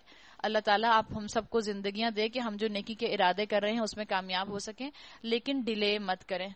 इसलिए कि आप जितना डिले करेंगी, आपका पैशन फिजल आउट हो जाएगा। आप अपने मज़ेदार फिजी ड्रिंक को ग्लास में निकाल के एक घंटे के बाद पिए और बाहर ही उसको छोड़ दें तो क्या उसका वो जायका होता है जिस, जो जिस वक्त बॉटल से निकाला जाता है, उस वक्त होती है उसका फ्लेवर? वो बिल्कुल फ्लैट हो जाती है। कोई जायका नहीं रहता, बल्कि पीने का दिल भी नहीं चाहता, इतनी अजीब सी, मीठी सी हो जाती है। इसी तरह से अगर आपने अपने दिल में आए हुए जज्बात को इस वक्त रोक लिया, थाम लिया, अमल में नहीं लाए तो आहिस्ता आहिस्ता आपके जज्बात जो हैं वो फिजल आउट कर जाएँगे। तो आपने कवरिंग करनी शुरू करनी है। आपने अपने आप को छुपाना है। पहली बात, आपने अपने आप को अपने महरम रिश्तों के सामने भी छुपाना है। महरम रिश्तों के सामने भी इंसान की कवरिंग के मुख्तलिफ़ लेवल होते हैं। मिसाल के तौर पर कोई आपके आपके एक सुसर हैं और एक तरफ़ आपके वालिद हैं, एक तरफ़ आपके शोहर हैं। क्या आप इन तीनों के सामने एक ही तरह से अपने आप को रख सकते हैं? स्कॉलर्स कहते हैं कि तीनों आपके महरम हैं, लेकिन इन तीनों के सामने आपका आने का अंदाज मुख्तलिफ़ होगा। आप इन तीनों को अपनी जहनत दिखा सकते हैं। जारी बात है, सुसर और वालिद के सामने इंसान बगैर दुबट्टे के नहीं आता। तो पहले तो हम अपनी बच्चियों को और अपने आप को इस चीज़ के ऊपर लेकर आए कि हम अपने लिबास का जो हिस्सा था, जिसको यहाँ पर खुमर बताया गया है, इसको वापस लेकर आए। खुमर का एक मकसद है। खुमर को आप दुबट्टा कह लें या खुमर को आप स्कार्फ कह लें। मकसद क्या है? वो चीज़ जो आपके चेस्ट को ढांक ले, जो आपके सीने को कवर कर ले। और औरत के सीने की खूबसूरती, यकीनन मर्द उसकी तरफ़ अट्रैक्ट होते हैं। तो बता दिया गया मकसद कि औरत अपना खुमर जो है वो इस्तेमाल करे। आप अपने शोहर के सामने अपना खुमर नहीं भी इस्तेमाल करती हैं तो इट्स ओके। लेकिन अपने वालिद और अपने ससुर के सामने कम से कम कम से कम आपका सीना कवर होना चाहिए। बास स्कॉलर्स तो यहाँ तक कहते हैं कि अपने भाइयों के सामने, अपने बेटों के सामने और अपने ससुर और वालिद के सामने भी आपका ये चीज़ कवर होनी चाहिए। ईमान का लेवल है। अगर वो कहते हैं तो यकीनन अपने किसी इल्म की बेसिस पर कहते होंगे, अल्लाह हमें ऐसा ईमान दे, लेकिन फ़िलहाल तो हमारा ईमान बड़ा कमज़ोर है। हम वालिद के सामने भी इतना एहतियात नहीं कर पाते। तो क्या करें? हम अपनी गलती मान लें, जहाँ कमी है उस कमी को एडमिट कर लें, और फिर मैक्सिमम उन जगहों के ऊपर एहतियात करने की कोशिश करें जहाँ से फितना फैल सकता है। तो अपने महरम रिश्तों के सामने भी आपका, अपने और को कवर करने का एंगल मुख्तलिफ़ होगा। मिसाल के तौर पर आपके ताया हैं, आपके चचा हैं, ये सब आपके महरम रिश्ते हैं। तब आप इनके सामने बगैर दुबट्टे के आए, क्या मुनासिब लगता है? या आपकी जवान बच्चियाँ बगैर दुबट्टे के इन रिश्तों के सामने आए? और ये भी एक्सट्रीम होती है कि एक तरफ़ हम नामहरम के सामने पूरा छुप कर आ रहे हैं, और अपने चाचा ताया के सामने जब हम आए तो हम पूरा एक्सपोज होकर आ गए। और आजकल बच्चियों की जो ड्रेसिंग कराई जाती है, वो भी नामुनासिब है। ज़्यादातर बच्चियाँ पेंट शर्ट्स पहनते हैं। अपने महरम रिश्तों के सामने भी पेंट शर्ट्स पहनना और शर्ट्स भी ऐसी पहनना, ऐसी टॉप्स पहनना जो बिल्कुल छोटी छोटी हो, जिनके अंदर पूरी बॉडी नज़र आ रही हो, फिगर हगिंग कपड़े पहनना, ये भी इंसान के, औरत के मिजाज के खिलाफ है। ये वो औरत करती जिसका मिजाज बिगड़ चुका होता है। तो अपनी बच्चियों के मिजाज को दुरुस्त करने की ज़रूरत है। उनकी फितरत को वापस लाने की ज़रूरत है। तो हमने पहला काम ये करना है कि हमने अपना जब और कवर करना है तो उनके लेवल्स आप देख लें, अपना ईमान देख लें कि आप किस ईमान के लेवल पर हैं। सबसे पहला काम जो औरत कर सकती है, और इसके ऊपर सारे स्कूल ऑफ़ थॉट्स मुत्तफिक हैं कि आप अपने आप को ऐसे ढांकें कि आपका सिर्फ़ और चेहरा और हाथ और पैर नज़र आए, बस। इस हुलिये में आप आ जाएँ सामने तो ठीक है। और बता दिया गया कि चाहे तुम्हारा ये जो खमर है, चाहे जो तुम्हारा स्कार्फ है तुम्हारा दुबट्टा ये किसी भी रंग का हो अभी हम कलर की बात नहीं कर रहे कि सिर्फ़ ब्लैक हो या सिर्फ़ व्हाइट हो या सिर्फ़ क्रीम कलर का हो, क्या हो। अभी किसी भी कलर का हो ऑरेंज कलर का हो रेड कलर का हो, खासतौर पे बच्चियाँ जो बैठी हैं, उनको जिस कलर से भी ओढ़ना है वो अपने आप को ओढ़ना शुरू करें। ज़ाहिर बात है, इंसान सारी ज़िंदगी उसी कलर को नहीं ओढ़ता रहेगा। जो 16 साल की उम्र में पिंक कलर का अबाया या स्कार्फ ओढ़ना शुरू किया तो क्या साठ साल की ज़िंदगी तक वही कलर पहनते रहेंगे? उम्र के साथ साथ इंसान के अंदर मेच्योरिटी आती है। तो जो जिस स्टेज पर है, वो एक कदम आगे बढ़ जाए। जो जिस लेवल पर है, वो उससे आगे आने की कोशिश करे। नेचुरल प्रोग्रेशन जो है, वो आना चाहिए। और एक चीज़ का ख्याल रखें, कभी भी काम आधा पौना ना करें। कि अभी तो मैंने ओढ़ा हुआ है मिसाल के तौर पर पूरे का पूरा। फिर जब मैं अपनी कजन्स के दरमियान में गई, जिसमें मेरे मेल कजन्स भी हैं, और सब खानदान वाले इकट्ठे हैं तो बस मेरा दुबट्टा सिर्फ़ जो है, वो यूँ है बस। और फिर वो आहिस्ता आहिस्ता नीचे गया नीचे गया नीचे गया और फिर गिर गया। इसलिए कि मैंने भी तो इयर पहने हुए हैं। मैंने भी तो पेंडेंट पहना हुआ है। मैंने भी तो चोकर पहना हुआ है। सबको दिखाना मुझे भी तो ज़रूरी है। इंसान जो काम करे कंसिस्टेंसी से करे। जब एक दफ़ा इरादा कर लिया कि मैंने नाहमहरम के सामने नहीं आना और अपनी जीनत का इजहार नहीं करना तो अल्लाह आपको इस्तकामत देगा। आप उस पर जम जाएँ, आधा पौना अमल ना करें, जैसे आधी डिग्री काम की नहीं होती। कोई कहे कि मैंने एफए का बस पार्ट वन क्लियर किया पार्ट टू क्लियर नहीं किया इंटरमीडिएट का। तो क्या आप उसको इंटरमीडिएट किया हुआ बंदा या बच्चा कहेंगे? उसने इंटरमीडिएट तो कंप्लीट ही नहीं किया। आप कच्ची हांडी हो, आधा गोश्त पका हुआ, आधा गोश्त कच्चा। आप खा लेंगे? कच्ची हांडी तो आप और मैं नहीं खाते। तो कवर करें और प्रॉपरली कवर करें। जिस तरह आधी नमाज़ कबूल नहीं होती, जिस तरह आधा रोजा कबूल नहीं होता इसी तरह आधा पर्दा भी आपका और मेरा कबूल नहीं होगा।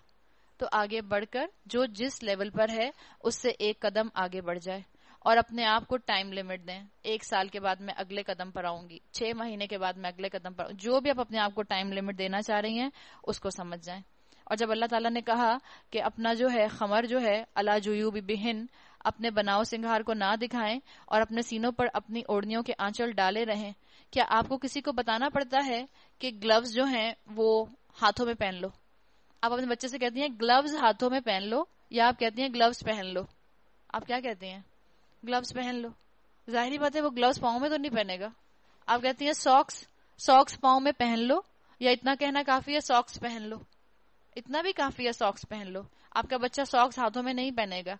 इसी तरह से जब अरब्स के सामने खुमर का ज़िक्र आया तो ये अंडरस्टूड बात थी। जैसे आपकी और मेरे लिए इस वक्त सॉक्स और ग्लव्स को समझना आसान है, इसी तरह से उन्होंने खुमर को फ़ौरन समझ लिया। वो कपड़े का टुकड़ा जो अपने चेस्ट को कवर करने के लिए इस्तेमाल किया जाता है। अरब की औरतें अपना सर कवर करके अपना खुमर पीछे डाल दिया करती थी। जैसे यूजली जो आज़ाद कश्मीर की या कश्मीर की औरतें वो डालती हैं। तो उनको बताया गया कि इसका मकसद ये नहीं है कि इसको तुम अपने सीने से हटाकर अपने पीछे डाल लो, बल्कि इनसे अपने सीने कवर करो। उनको इस चीज़ का इजहार कर दिया गया और बता दिया गया कि जीनत जो है, औरत का जो सीना है, वो बहुत बड़ी अट्रैक्शन है। अगर आपको और मुझे तैयार होने का शौक है तो बिल्कुल तैयार हो, अपने महरम रिश्तों के सामने तैयार हो, और सबसे ज़्यादा तैयार हो जिसके सामने वो हक है आपके शोहर का। अपने शोहर के सामने खूब तैयार हो। क्यों जाके तैयारी कर, करके और बेहतरीन तरीके से तैयार होके और प्यारी लग लग के नामहरम के दिल पर बिजलियाँ गिराती हैं? जाकर अपने शोहर के दिल पर बिजलियाँ गिराएँ, उसको खुश करें, वो भी खुश होगा, उसकी भी आँखें ठंडी होंगी और इनशाला उसका फ़ायदा क्या होगा कि अल्लाह ताला उसकी भी नज़र की हिफाजत करेगा। तो पर्दे का हरगिज ये मतलब नहीं है कि आप और मैं सिंगार करना छोड़ दें। बाज औरतें क्या करती हैं कि जब पर्दा करना शुरू करती हैं तो वो बालों को डाई करना खत्म कर देती हैं। अंदर से सफ़ेद, भक बाल निकलते हैं। अब बेचारा शोहर, उसका क्या कसूर है कि वो इतनी बूढ़ी बीवी को देखता रहे? बजाहिर आप बूढ़ी नहीं हो सकते आपके तीस साल की उम्र में बाल सफ़ेद हो गए तो आप बाल डाई नहीं करेंगी। बाज औरतें अपनी और चीज़ों का सेहत का ख्याल नहीं रखती। बाज औरतें अपनी फिगर का ख्याल नहीं रखती। क्योंकि अब पर्दा करना शुरू कर दिया। अब किसने देखना है? तो अब कौन अपनी फिगर का ख्याल रखे?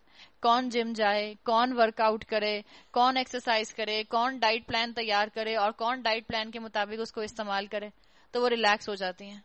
तो बता दिया गया कि नहीं, अपना बनाव सिंगार करो और अपना बनाव सिंगार करके अपने हुसन की जो अल्लाह ने दिया है, उसकी भी हिफाजत करो, अपनी जीनत को जायज़ जगह इस्तेमाल करो और अपने शोहर की भी आँखें ठंडी करो। अपने, जो भी आपने फ़ैशन करने वो फ़ैशन करें। अपने फ़ैशन को अपने फेथ के पीछे चलाएँ, ईमान के पीछे चलाएँ, अपने ईमान को फ़ैशन के पीछे ना चलाने की कोशिश करें। तो आगे बता दिया गया कि किन लोगों के सामने तुम इजहार कर सकती हो, वो अपना बनाव सिंगार ना ज़ाहिर करें, मगर इन लोगों के सामने। शौहर, बाप, शौहरों के बाप, अपने बेटे, शौहरों के बेटे, यानी सौतेले बेटे, भाई, भाइयों के बेटे, यानी भांजे, बहनों के बेटे, अपने मेल जोल की औरतें मेल जोल की औरतों में अपनी फ्रेंड्स भी आ जाती हैं और आपकी मेल जोल की औरतों में वो भी आ सकती हैं जो आपकी वैक्स करने वाली औरत आती है। हाँ ये ज़रूर है कि उसको भी इतना ज़रूर ट्रेन कर दें कि वो आपके घर से जाकर कहीं और जाकर कहीं आपके जिस्म के तबसरे जो है वो दूसरों के सामने ना करती हो। इस चीज़ का भी ख्याल रखें। और वैक्सीन की जब बात हो रही है तो इस चीज़ को भी समझ जाएँ कि जैसे औरत का सतर ये है कि उसका चेहरा, उसके दोनों हाथ और उसके दोनों पैर, औरत का सतर औरत के सामने भी एक है। औरत के सतर दो तरह से है। औरत का सतर मर्द से, औरत का सतर औरत से। जो औरत का और औरत से है, वो नेवल टू नी है। वही जो मर्दों का है, नेवल टू नी तो अगर वैक्सिंग करानी है तो पूरी लेग्स की वैक्सिंग नहीं हो सकती किसी भी औरत से। उसकी इजाज़त नहीं है। आप किसी औरत के सामने भी अपना उतना घुटने से ऊपर का पोर्शन, थाइस का पोर्शन नहीं खोल सकते। कहा कि आप अंडर लेग्स जो हैं, वो औरतों से वैक्स करवाएँ। बिल्कुल इजाज़त नहीं है। आजकल कोई मुश्किल काम नहीं है। आप खुद ये काम कर सकते हैं। आप अपने पाओ से लेकर अपने नी तक की वैक्सिंग जो है वो आप पार्लर से कराएँ या वैक्सिंग वाली औरत से करवाएँ। उसके बाद ऊपर का पोर्शन आपको खुद करना है। आप किसी दूसरी औरत के सामने नहीं खोल सकती। उसकी इजाज़त सिर्फ़ उस सूरत में है जब आपको कोई मेडिकल इश्यू हो। जैसे मिसाल के तौर पर आप गायनाकोलॉजिस्ट के पास जा रही हैं तो वहाँ आपको इजाज़त है। वहाँ आप उस पोषण को खोल सकती हैं, वरना वैक्सिंग वाली औरत के सामने उसको खोलने की इजाज़त नहीं है। अपने लौंडी गुलाम, वो जेर दस्त मर्द जो किसी और किस्म की गर्ज ना रखते हों, वो बच्चे जो औरतों के पोशीदा बातों से अभी वाकिफ ना हुए हों। और ये आजकल तकरीबन मेरा ख्याल है आठ से नौ साल तक के बच्चे बस होते हैं। नौ साल तक के बाद के बच्चे जो हैं, वो फिर सब बातों को समझते हैं। तो जरा एहतियात रखें ऐसे बच्चों के सामने भी। वो अपने पाँव ज़मीन पर मारती हुई ना चला करें कि अपनी जो जीनत उन्होंने छुपा रखी हो, उसका लोगों को इल्म हो जाए। यानी बता दिया गया, हिजाब वाली औरत के हुलिये में और उसके बिहेवियर में फ़र्क ना हो। जैसे वो अपने हुलिये की हिफाजत कर रही है, ऐसे ही अपने बिहेवियर की भी हिफाजत करे। और अपने आप को ढांकने का मकसद क्या है कि इंसान जो है, अपनी उन आवाजों को भी ढांक ले जो जेवर उसने पहना हुआ है। इसलिए ज़्यादा पसंदीदा नहीं होता कि आप ऐसी हील पहनकर चले, हिजाब पहनकर, जिसमें से टिक टिक टिक टिक टिक टिक आवाज़ आती रहे। बिला वजह नज़र उठ जाती आप देखें, हम औरतों की ऐसी आवाज़ पर एकदम से नज़र मुड़ती है। तो मर्दों को और अट्रैक्शन महसूस होती होगी। तो कोशिश करें कि आप मजबूरी है कभी, ऐसी जगह जाना पड़ रहा है जहाँ आप अबाया उतारेंगी, जहाँ पे आपको जो है कंप्लीट सेग्रीगेशन मिलेगा। मजबूरी में आपको पहननी पड़ रही है तो चलिए पहन लीजिए, लेकिन मामूल नहीं होना चाहिए। इसलिए कि वो भी बहरहाल एक तरह से आपकी जीनत का हिस्सा है। और औरत जो है वो ये बात जानती है कि औरत पर्दा करके भी, सात पर्दे करके भी अपने आप को एक्सपोज कर सकती है, अपनी अदाएँ दिखा दिखा के। तो पर्दा करने से साथ भी बिहेवियर का भी एहसास रखने का यहाँ पर बता दिया गया। हिजाब हया का एक सिस्टम पूरा देता है। सिर्फ़ एक चीज़ ओढ़ नहीं लेनी अपने ऊपर, बल्कि अपने किरदार के ऊपर इसकी झलक लेकर आनी है। बॉडी लैंग्वेज के अंदर पता चले कि ये औरत हया वाली है। ऐसा स्कार्फ ना हो कि वो स्कार्फ भी फिगर हगिंग है। वो स्कार्फ भी ऐसा पहना हुआ है कि जिसम से चिपका हुआ है। मकसद खत्म हो गया। अगर जिसम से चिपका हुआ स्कार्फ और जिसम से चिपकी हुई चादर और जिसम के साथ चिपका हुआ जो है, आपने अबाया पहना हुआ है। ऐसा लिबास नहीं होना चाहिए। ए मोमिनो, तुम सब मिलकर अल्लाह से तौबा करो। यानी ये काम मिलकर ही हो सकता है। अब तक गलती हुई थी, सब तौबा कर लो। तवक्को है कि फलाह पाओगे। तो मुझे और आपको हया का निज़ाम मिलजुल कर कायम करना है। औरतें भी आपस में मिलजुल कर इस निज़ाम को कायम करेंगी मर्द भी आपस में घर की औरतों से मिलजुल कर इस निज़ाम को इस सिस्टम को कायम, करेंगे ताकि फलाह आ जाए। तुम में से जो लोग गैर शादीशुदा हो और तुम्हारे लौंडी या गुलामों में से जो सवाले हों उनके निकाह कर दो। अगर वो गरीब हों तो अल्लाह अपने फजल से उनको गनी कर देगा। अल्लाह बड़ी वसत वाला और अलीम है। बता दिया गया कि बेनिकाहों के निकाह करा दो ये पसंदीदा है। और जो निकाह का मौका ना पाए, उन्हें चाहिए कि इफ़्फ़त भी इख्तियार करें। यहाँ तक कि अल्लाह अपने फजल से उनको गनी कर दे। यानी यहाँ ये बात बता दी गई कि अल्लाह के रसूल सल्लल्लाहु अलैहि वसल्लम की हदीस के मुताबिक आपने फरमाया, दो मोहब्बत करने वालों के लिए निकाह से मौसर चीज़ कोई और अल्लाह ताला ने नहीं रखी। तो अपनी औलाद के निकाह जितनी जल्दी हो सके करा दें। देखें, बाँस बच्चों के अंदर अर्जेंस ज़्यादा होती है। ये हर एक पर रूल अप्लाई नहीं करेगा। हो सकता है आपके चार बच्चे हों, चार में से तीन बहुत ज़्यादा एम्बिशियस हों, पढ़ने के लिए, अपना करियर आगे अपनाने के लिए, बहुत पढ़ने के शौकीन हैं तो ठीक है, आप उनको पढ़ाइए। एक बच्चा आपका हो सकता है पढ़ने का इतना शौकीन ना हो, लेकिन उसको शादी का बहुत शौक हो, और हो वो सबसे छोटा मिसाल के तौर पे। अब उसकी उम्र हो गई है इक्कीस साल, बाईस साल, तेईस साल। है तेईस साल का बेटा, उससे पहले बहनें भी मौजूद हैं। अब बेटे को शौक आ रहा है कि मुझे तो दुल्हन चाहिए। मुझे तो ला के दें। तो अम्मा क्या कहें, नहीं, पहले सब बड़े बहन भाइयों की शादियाँ होंगी, फिर तुम्हारी बारी आएगी। ऐसा ना करें। वो तीन अगर अपने उसमें पढ़ने में मसरूफ हैं, और अगर अभी उनका रुझान इस तरफ़ नहीं भी आ रहा, वैसे तो पसंदीदा यही है कि जितनी जल्दी निकाह करा दिए जाए। और आजकल के फितने के दौर में तो जितनी अर्ली हो जाए। लेकिन मिसाल के तौर पे जो बेटा आपसे मुँह से कह रहा है कि, अम्मा, मेरे लिए दुल्हन ढूंढ कर लाओ अब फ़ौरन उसकी दुल्हन ढूंढ कर लाएँ। अब डिले ना करें।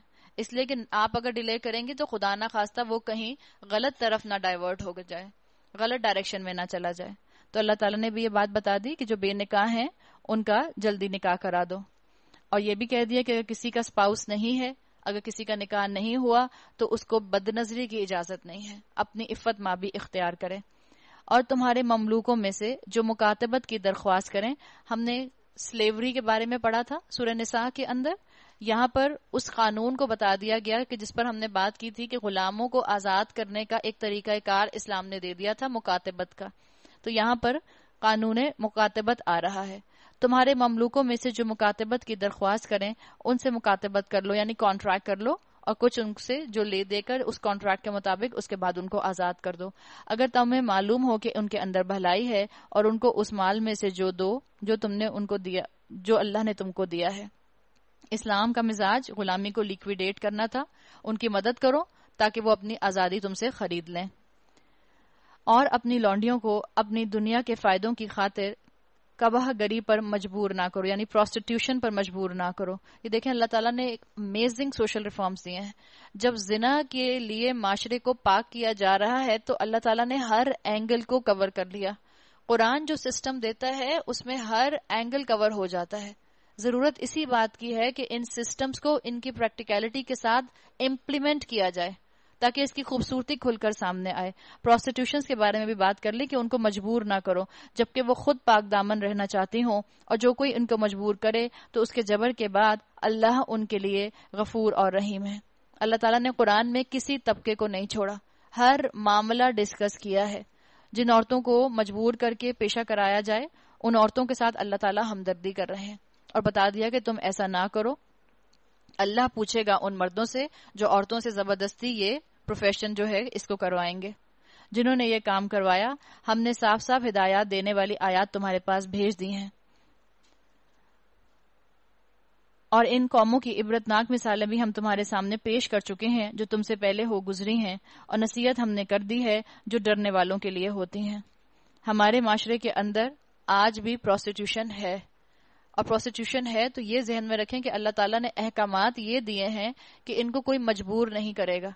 मुख्तलिफ़ तरीके से बच्चियों को किडनैप करके, एक मुख्तलिफ़ तरीके से बच्चियों को इस काम में लगा दिया जाता है।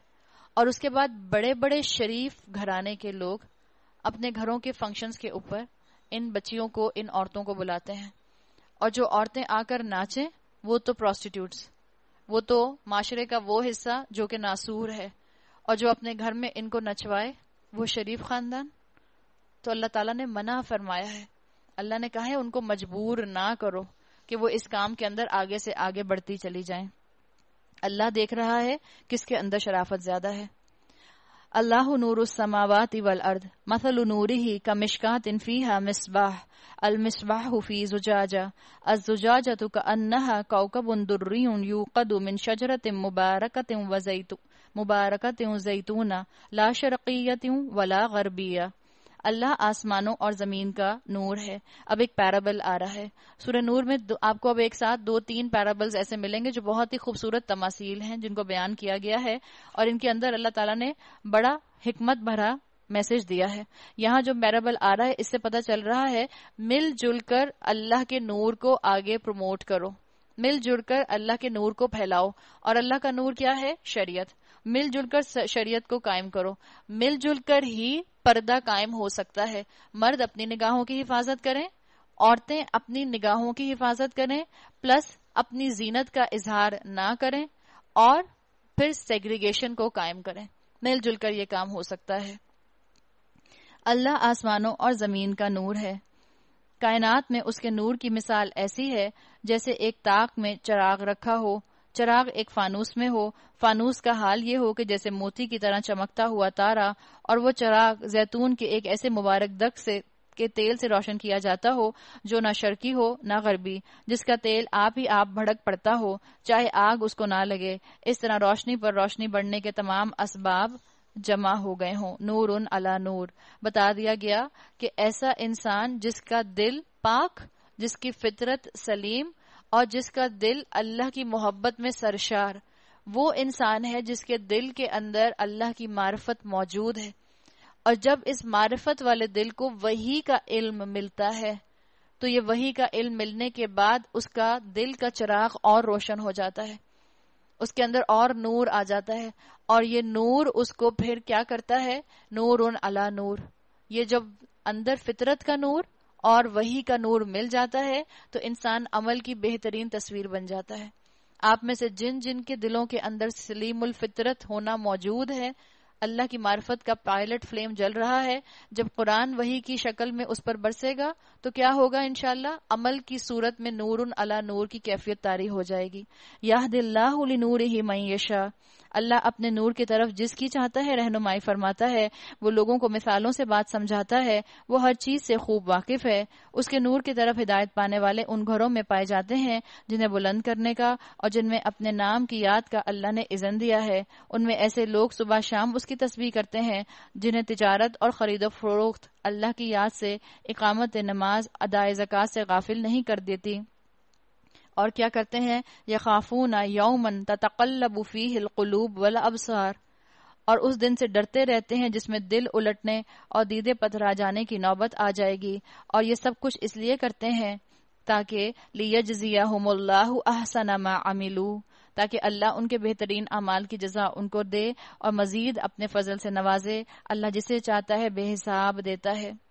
बता दिया कि जो दीन में आने वाले लोग हैं, वो कौन है? ज़रूरी नहीं है कि मस्जिदों में सिर्फ़ वो लोग जाएँ जो फारिग हों, बल्कि मस्जिदों में यंग यूथ को भी जाने की ज़रूरत है, बिज़ी लोगों को भी मस्जिदों में जाने की ज़रूरत है, जो पढ़ाई में मसरूफ हैं, उनको भी मस्जिदों में जाने की ज़रूरत है।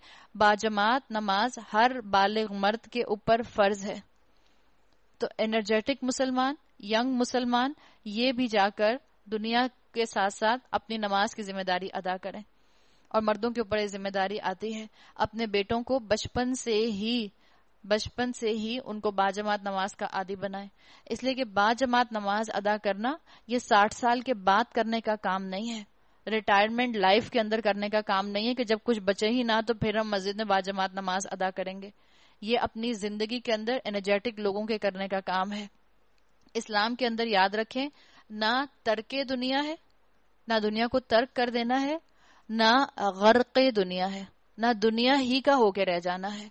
इस्लाम के अंदर बैलेंस है इन दोनों चीज़ों का। हमने अल्लाह से दिन सिरवातल मुस्तकीम कहा है, अल्लाह हमें सीधा रास्ता दिखा, हमने बैलेंस मांगा है। वो बैलेंस जो मुझे और आपको, हमारे रूह और जिसम के तकाजों को बैलेंस करना सिखा दे। जिसम को जिसम का हक दे दें, रूह को रूह का हक दे दें, वरना अगर सिर्फ़ जिसम को जिसम का हक देते रहे तो दुनिया परस्त बन जाएँगे।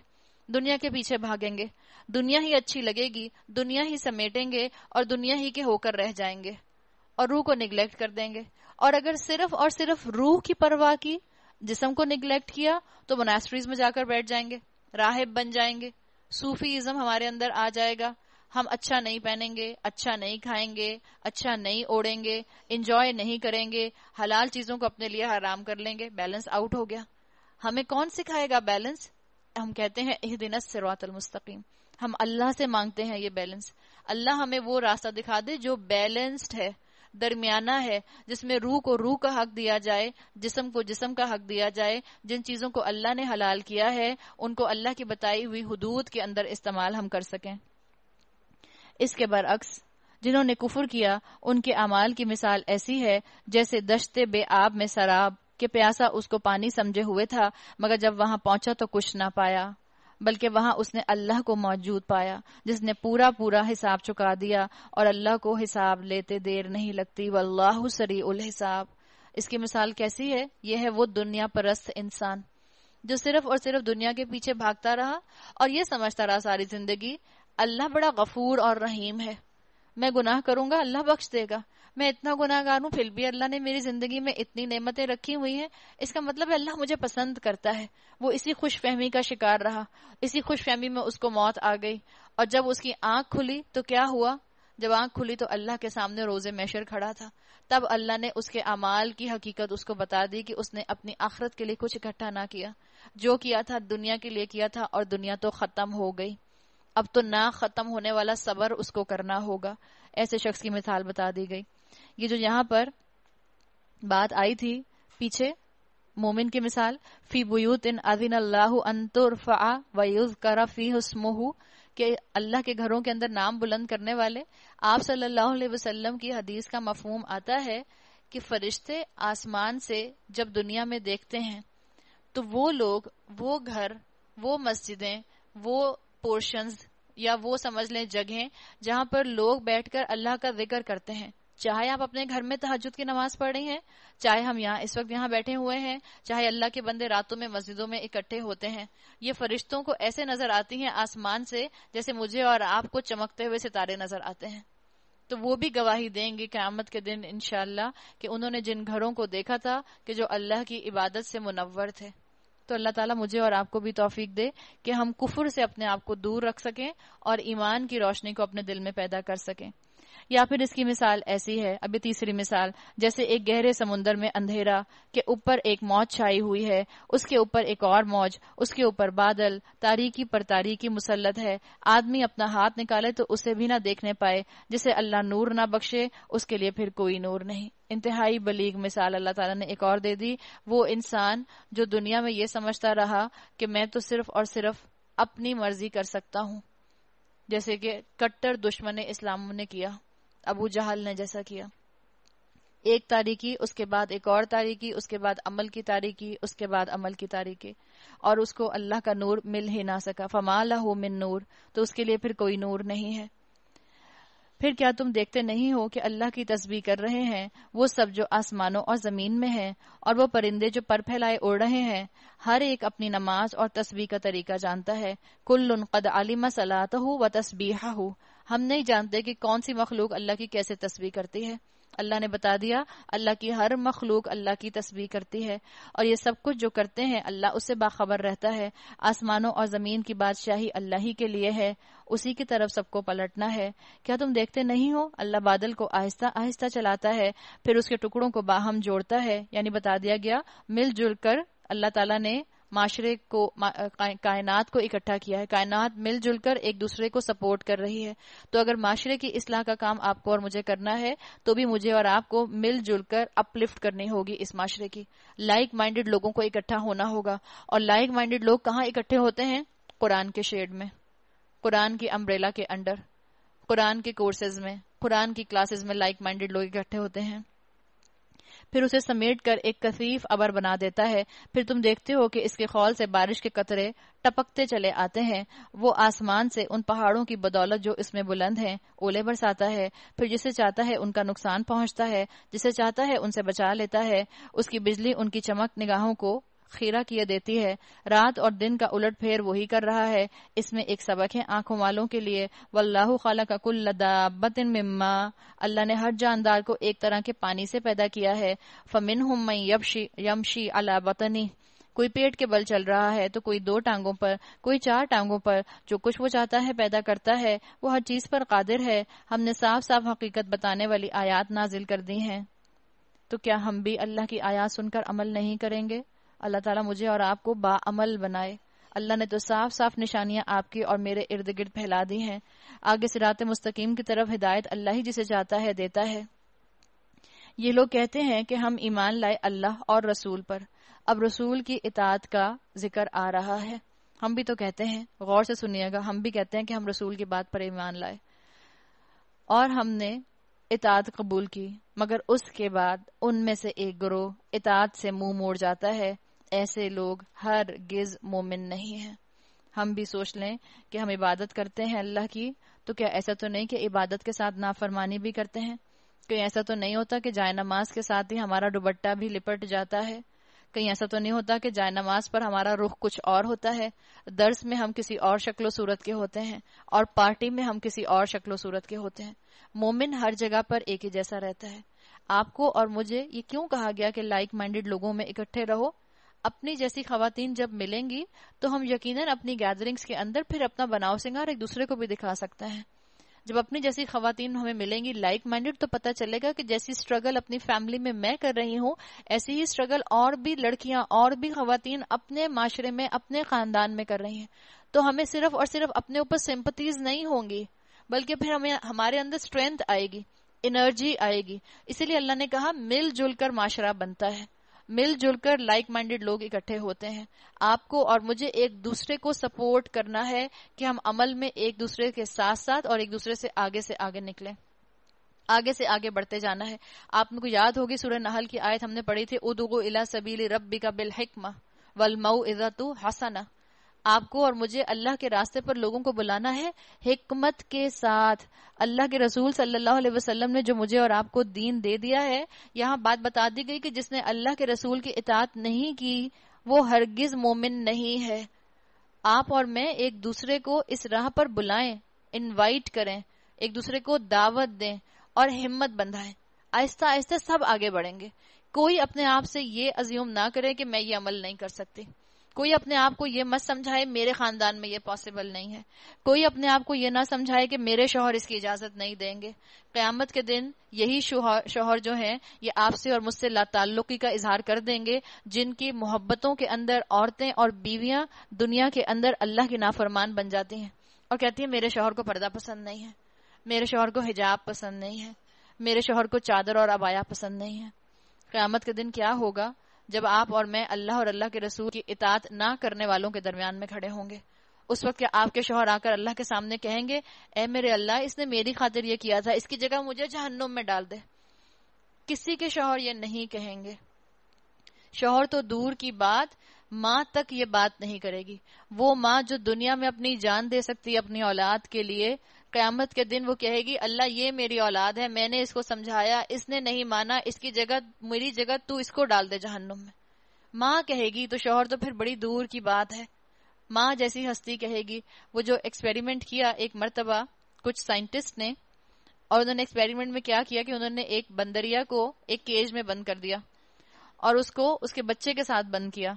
उन्होंने देखा कि बंदरिया अपने बच्चे को गोद में उठाती है, सुलाती है, दूध पिलाती है, उसका ख्याल रखती है, हर तरह से उसके लिए केयरिंग है। फिर उन्होंने क्या किया कि उन्होंने उस केज को हीट देना शुरू की। जब उन्होंने उस केज को हीट देना शुरू की तो बंदरिया ने क्या किया कि फ़ौरन अपने बच्चे को अपनी गोद में उठा लिया, ताकि कहीं बच्चे को तकलीफ़ ना हो जाए, और पिंजरे में इधर से उधर उधर से इधर भागने लग गई। उन्होंने और ज़्यादा हीट दी। बंदरिया और परेशान होने लग गई, अपने बच्चे को सीने से लगा लिया कि मैं क्या करूँ, कैसे बचूं, खुद भी और इसको बचाऊं। हीट और बढ़ाई उन्होंने। जब उन्होंने हीट और बढ़ाई तो उस बंदरिया ने क्या किया? वो अपना बच्चा उस केज की ज़मीन पर रखकर खुद उसके ऊपर खड़ी हो गई। उस वक्त उसको अपनी जान बचाने की फ़िक्र हुई। यही वक्त होगा जो कयामत का वक्त होगा। ऐसे ही औरत माँ अपने बच्चे को जहन्नुम में अपनी जगह डलवा देना चाहेगी। तो हम किसी इंसान की फर्मा बरदारी में रब की ना फरमानी ना करें। जब उनको बुलाया जाता है अल्लाह और रसूल की तरफ़, ताकि रसूल उनके आपस के मुकदमे का फैसला करें तो उनमें से एक फरीक कतरा जाता है। अलबत्ता अगर हक उनकी मुआफ़त में हो तो रसूल के पास बड़े इतात कैश बनकर आ जाते हैं। क्या इनके दिलों को मुनाफिकत का रोग लगा हुआ है? अफी कलूब मरदन अमिर ताबू या शक में पड़ गए हैं? या उनको ये खौफ है कि अल्लाह और उसका रसूल उन पर जुल्म करेगा? ये खौफ है हमें कि अल्लाह ने मुझे और आपको मुश्किल शरीयत दी है, अल्लाह ने एड्रेस किया है। सोच लो, तुम क्या समझते हो कि क्या अल्लाह तुम पर जुल्म करेगा? क्या रसूल तुम पर जुल्म करेंगे? ये सोचो ए औरतों, ये जो तुम्हें कवानीन दिए जा रहे हैं तुम्हारी प्रोटेक्शन के कवानीन है। जब अल्लाह की बात नहीं मानेंगे तो फिर किसकी बात मानेंगे? जब इंसान अपनी वैल्यू को लोगों की नज़र से देख, रखता है, जब इंसान लोगों की नज़रों में अप्रूवल चाहता है तो उसकी अहमियत आलू प्याज की अहमियत से भी कम हो जाती है। और जब रब की नज़र से अपने आप को एलिवेट करता है तो अल्लाह उसको इज़्ज़त देता है। अल्लाह ने औरत को उसका हक रखा है कि औरत पर्दा करे, ताकि उसकी हिफाजत हो, उसकी डिग्निटी कायम रहे, लोग उसकी इज़्ज़त करें। माशरे की इस्लाम में औरत का बड़ा किरदार है। आज अगर कहीं पर भी कोई बच्ची रेप हो जाती है, उसके अंदर कहीं मेरा और आपका कसूर तो नहीं है? मैं और आप देख लें। इसलिए कि मेरा और आपका पाँच फुट का जिसम कहीं दूसरे मर्द के जज्बात को बढ़ाने के लिए, उसकी एनिमल इंस्टिंक्ट को बढ़ाने के लिए अपना हिस्सा तो नहीं अदा कर रहा। पता चला उसने मुझ पर, आप पर तो अपना हाथ साफ़ नहीं किया। जो उसके हाथ में आई, उससे उसने अपना हाथ साफ़ कर लिया। चाहे वो आपकी मेट थी या आपकी मेट की बेटी थी। तो फिर अल्लाह मुझसे और आपसे भी सवाल करेगा कि मैंने उस मर्द के जज्बात को भड़काने में अपने हुसन से हिस्सा डाला था। कहीं मेरी और आपकी पकड़ ना हो जाए। असल बात यह है कि जालिम तो ये खुद लोग हैं। ईमान लाने वालों का काम यह है कि जब वो अल्लाह और रसूल की तरफ़ बुलाए जाएँ, ताकि रसूल उनके मुकदमे का फैसला करें तो वो कहें, हमने सुना और इतात की। ऐसे ही लोग फलाह पाने वाले हैं और कामयाब होने वाले हैं, जो अल्लाह और रसूल की फर्माबरदारी करें और अल्लाह से डरें। व यत्तकी फ़ाउलामुल फ़ाइजून। व अल्लाह से डरें, उसकी नाफरमानी से बचें। यही लोग जो हैं, ये कामयाब होने वाले हैं। ये मुनाफिक अल्लाह के नाम से कड़ी कड़ी कस्में खाकर कहते हैं, आप हुक्म दें तो हम घरों से निकल खड़े हों। इनसे कहो, कस्में ना खाओ। तुम्हारी इतात का हाल मालूम है। तुम्हारे करतूतों से अल्लाह बेखबर नहीं है। कहो, अल्लाह के मुती बनो और रसूल अल्लाह सल्लल्लाहु अलैहि वसल्लम के ताबे फरमान बनकर रहो। लेकिन अगर तुम मुँह फेरते हो तो खूब समझ लो कि रसूल पर जिस फ़र्ज़ का बार रखा गया है, उसके जिम्मेदार वो हैं और तुम पर जिसका बार रखा गया है, उसके जिम्मेदार तुम।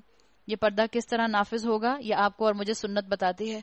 मदीने के माशरे में ये अहकाम आने के बाद इनकी इम्प्लीकेशन कैसे सामने आई, ये मुझे और आपको सुन्नत बताती है। औरतें पर्दा करती थी साथ साथ कारोबार करती थी। औरतें बेहद पर्दा करने के बाद कॉन्फिडेंट थी। उनकी अकलों पर पर्दा नहीं पड़ गया था। हम समझते हैं जिस औरत के ऊपर पर्दा है, शायद उसकी अकल भी बिल्कुल बेअकल है वो। अकल से खाली है, उसके पास कोई डिग्री नहीं होगी। उसके पास जो है वो किसी तरह का करियर अपनाने की अपॉर्चुनिटी नहीं होगी। गलत फहमी जो पर्दा करती हैं, वो कॉन्फिडेंट भी होती हैं। उनकी अकलों पर पर्दा नहीं पड़ा था। आप सल्लल्लाहु अलैहि वसल्लम के दौर में औरतें पर्दा करके पढ़ा भी करती थी और पढ़ाया भी करती थी। आज इसी कॉम्बिनेशन को रिवाइव करने की ज़रूरत है। आज की पढ़ी लिखी औरत पर्दा करना बिनीथ डिग्निटी समझती है। हालाँकि यही चीज़ उसको एलिवेट करने वाली है। अल्लाह की नज़र में। लेकिन हम क्या करें अपने दिलों का, अपनी ख्वाहिशात का और अपनी नज़रों का कि हम अपने आप को लोगों की नज़रों से वैल्यू करते हैं। हम अपने आप को लोगों की नज़रों के हिसाब से जज करते हैं। किस इंसान को मैं अच्छी लगूँगी? कितने इंसानों को अच्छी लगूँगी? किस तरह के लोग मेरी तारीफ़ करेंगे? उसकी इतात करोगे तो खुद ही हिदायत पाओगे, वरना रसूल की ज़िम्मेदारी इससे ज़्यादा कुछ नहीं है कि साफ़ साफ़ हुक्म पहुँचा दे। व अदल्लादीना आमनु व अमिलसालिहात अल्लाह ने वादा फरमाया है, तुम में से उन लोगों के साथ जो ईमान लाएँ और नेक अमल करें, कि वो उनको उसी तरह ज़मीन में खलीफा बनाएगा, जिस तरह उनसे पहले हुए लोगों को बना चुका है। उनके लिए उनके इस दीन को मज़बूत बुनियादों पर कायम कर देगा, जिसे अल्लाह ने उनके हक में पसंद किया है और उनकी मौजूदा हालत खौफ को अमन से बदल देगा। तो क्यों न मैं और आप बारिश का पहला कतरा बन जाएँ? आप, मैं और आप बारिश का पहला कतरा बनेंगे तो कितनों की आसानी हो जाएगी। हम में से एक एक औरत अपने अपने खानदान में वो बारिश का पहला कतरा बन सकती है। आप और मैं अपनी बच्चियों को क्यों ना वो सिस्टम दे के जाए? क्या पता मैं अपने खानदान में सेग्रीगेशन का वो निज़ाम ना देख सकूँ?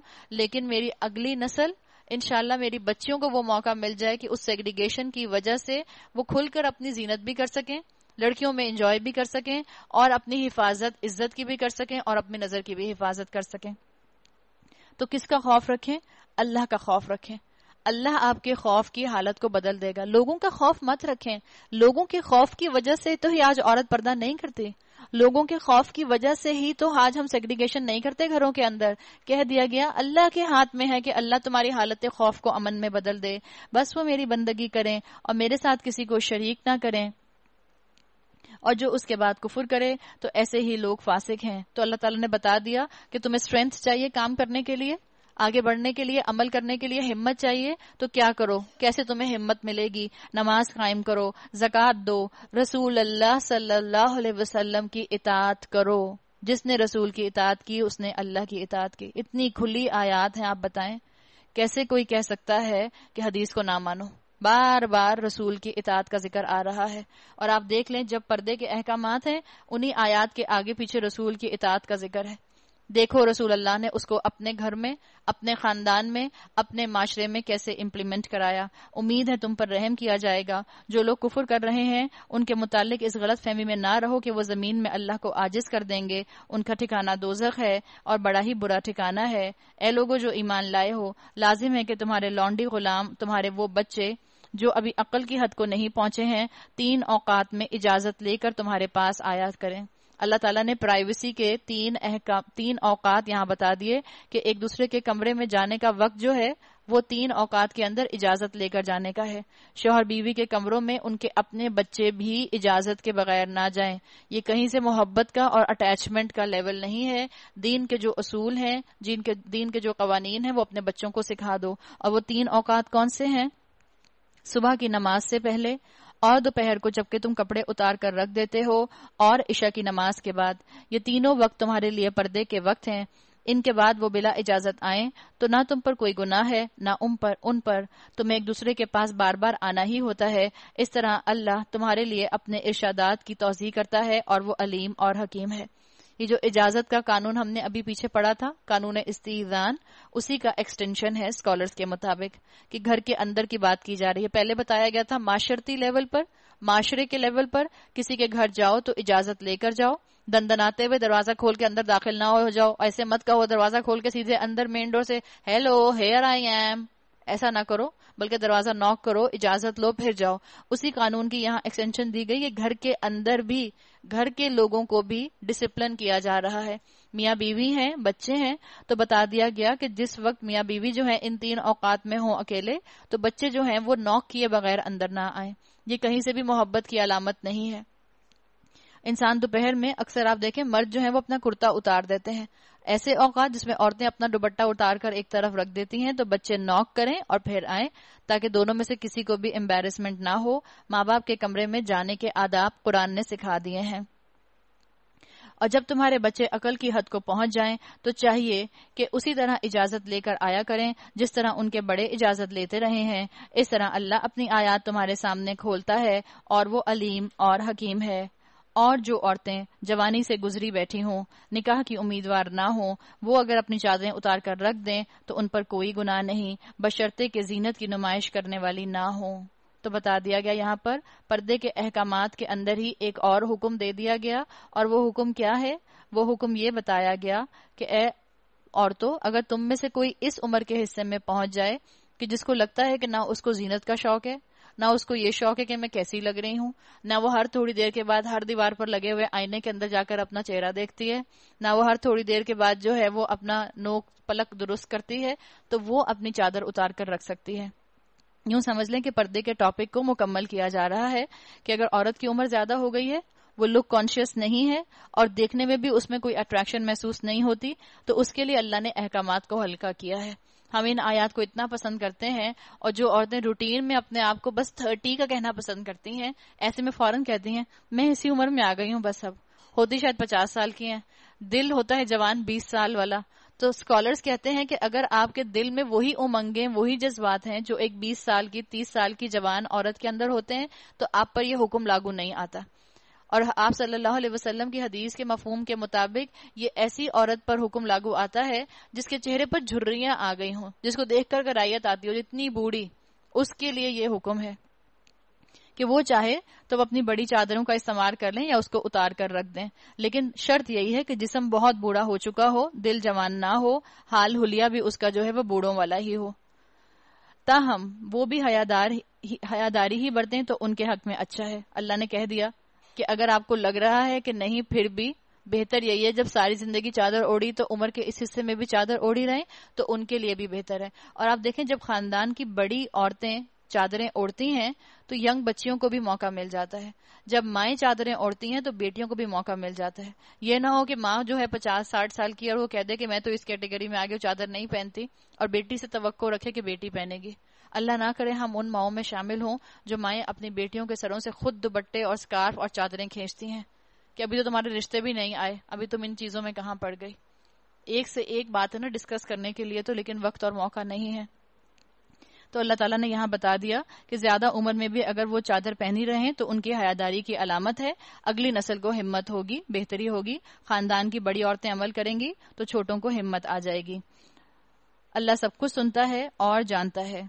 अब कुछ हैंडीकैप लोगों का ज़िक्र है। कोई हरज नहीं अगर कोई अंधा या लंगड़ा या मरीज़ किसी के घर से खा ले और ना तुम्हारे ऊपर इसमें कोई मुजायका है कि अपने घरों से खाओ या अपने बाप दादा के घरों से या अपनी नानी के घरों से या अपने भाइयों के घरों से या अपनी बहनों के घरों से, या अपने चचाओं के घरों से, या अपनी फुप्पियों के घरों से, या अपने मामुओं के घरों से, या अपनी खालाओं के घरों से, या उन घरों से जिनकी कुंजियाँ तुम्हारी सपुर्दगी में हों, या अपने दोस्तों के घरों से, इसमें भी कोई हरज नहीं कि तुम लोग मिलजुल कर खाओ या अलग अलग आज की दुनिया बहुत तेज है।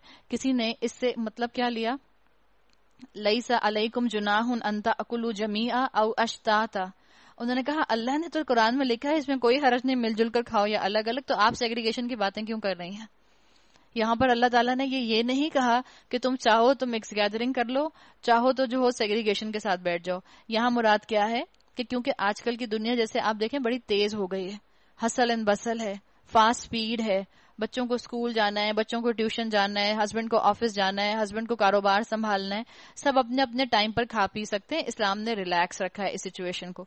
मिलजुल कर खाने से मुराद ये नहीं है कि ना मेहरम मर्द और औरतें जो हैं वो सब मिलजुल कर खाएँ, बल्कि ये गलत इंटरप्रिटेशन होगी। मकसद ये है कि अपने अपने औकात में खाया जा सकता है।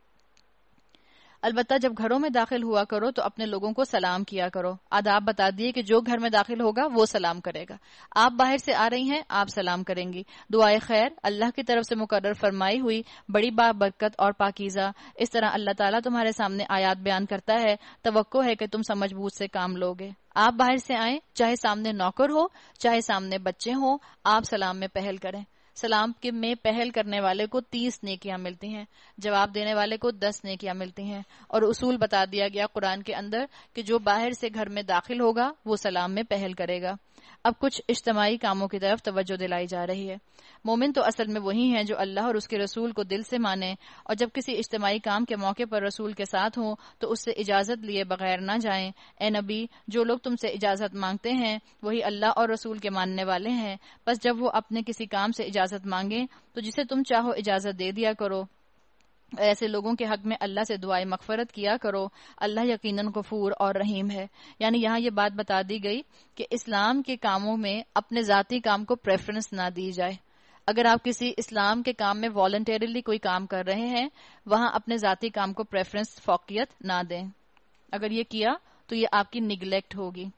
मुसलमानों, अपने दरमियान रसूल के बुलाने को आपस में एक दूसरे का सब बुलाना ना समझ बैठो। अल्लाह उन लोगों को खूब जानता है, जो तुम में से ऐसे हैं कि एक दूसरे की आड़ लेते हुए चुपके से सिटक जाते हैं। रसूल के हुक्म की खिलाफ वर्जी करने वालों को डरना चाहिए कि वो किसी फितने में गिरफ़्तार न हो जाएँ या उन पर दर्दनाक अजाब न आ जाए। इस फियर को भी दूर किया कि रसूल की बात मानकर अगर तुम्हें लगता है कि मुश्किल तंग हो रही है तो ये बिल्कुल शैतान का ट्रैप है, इसकी बातों में ना आना। रसूल की इतात करके तुम बल्कि मुश्किल से निकल आओगे। तुम्हारी ज़िंदगी में आसानियाँ आ जाएँगी।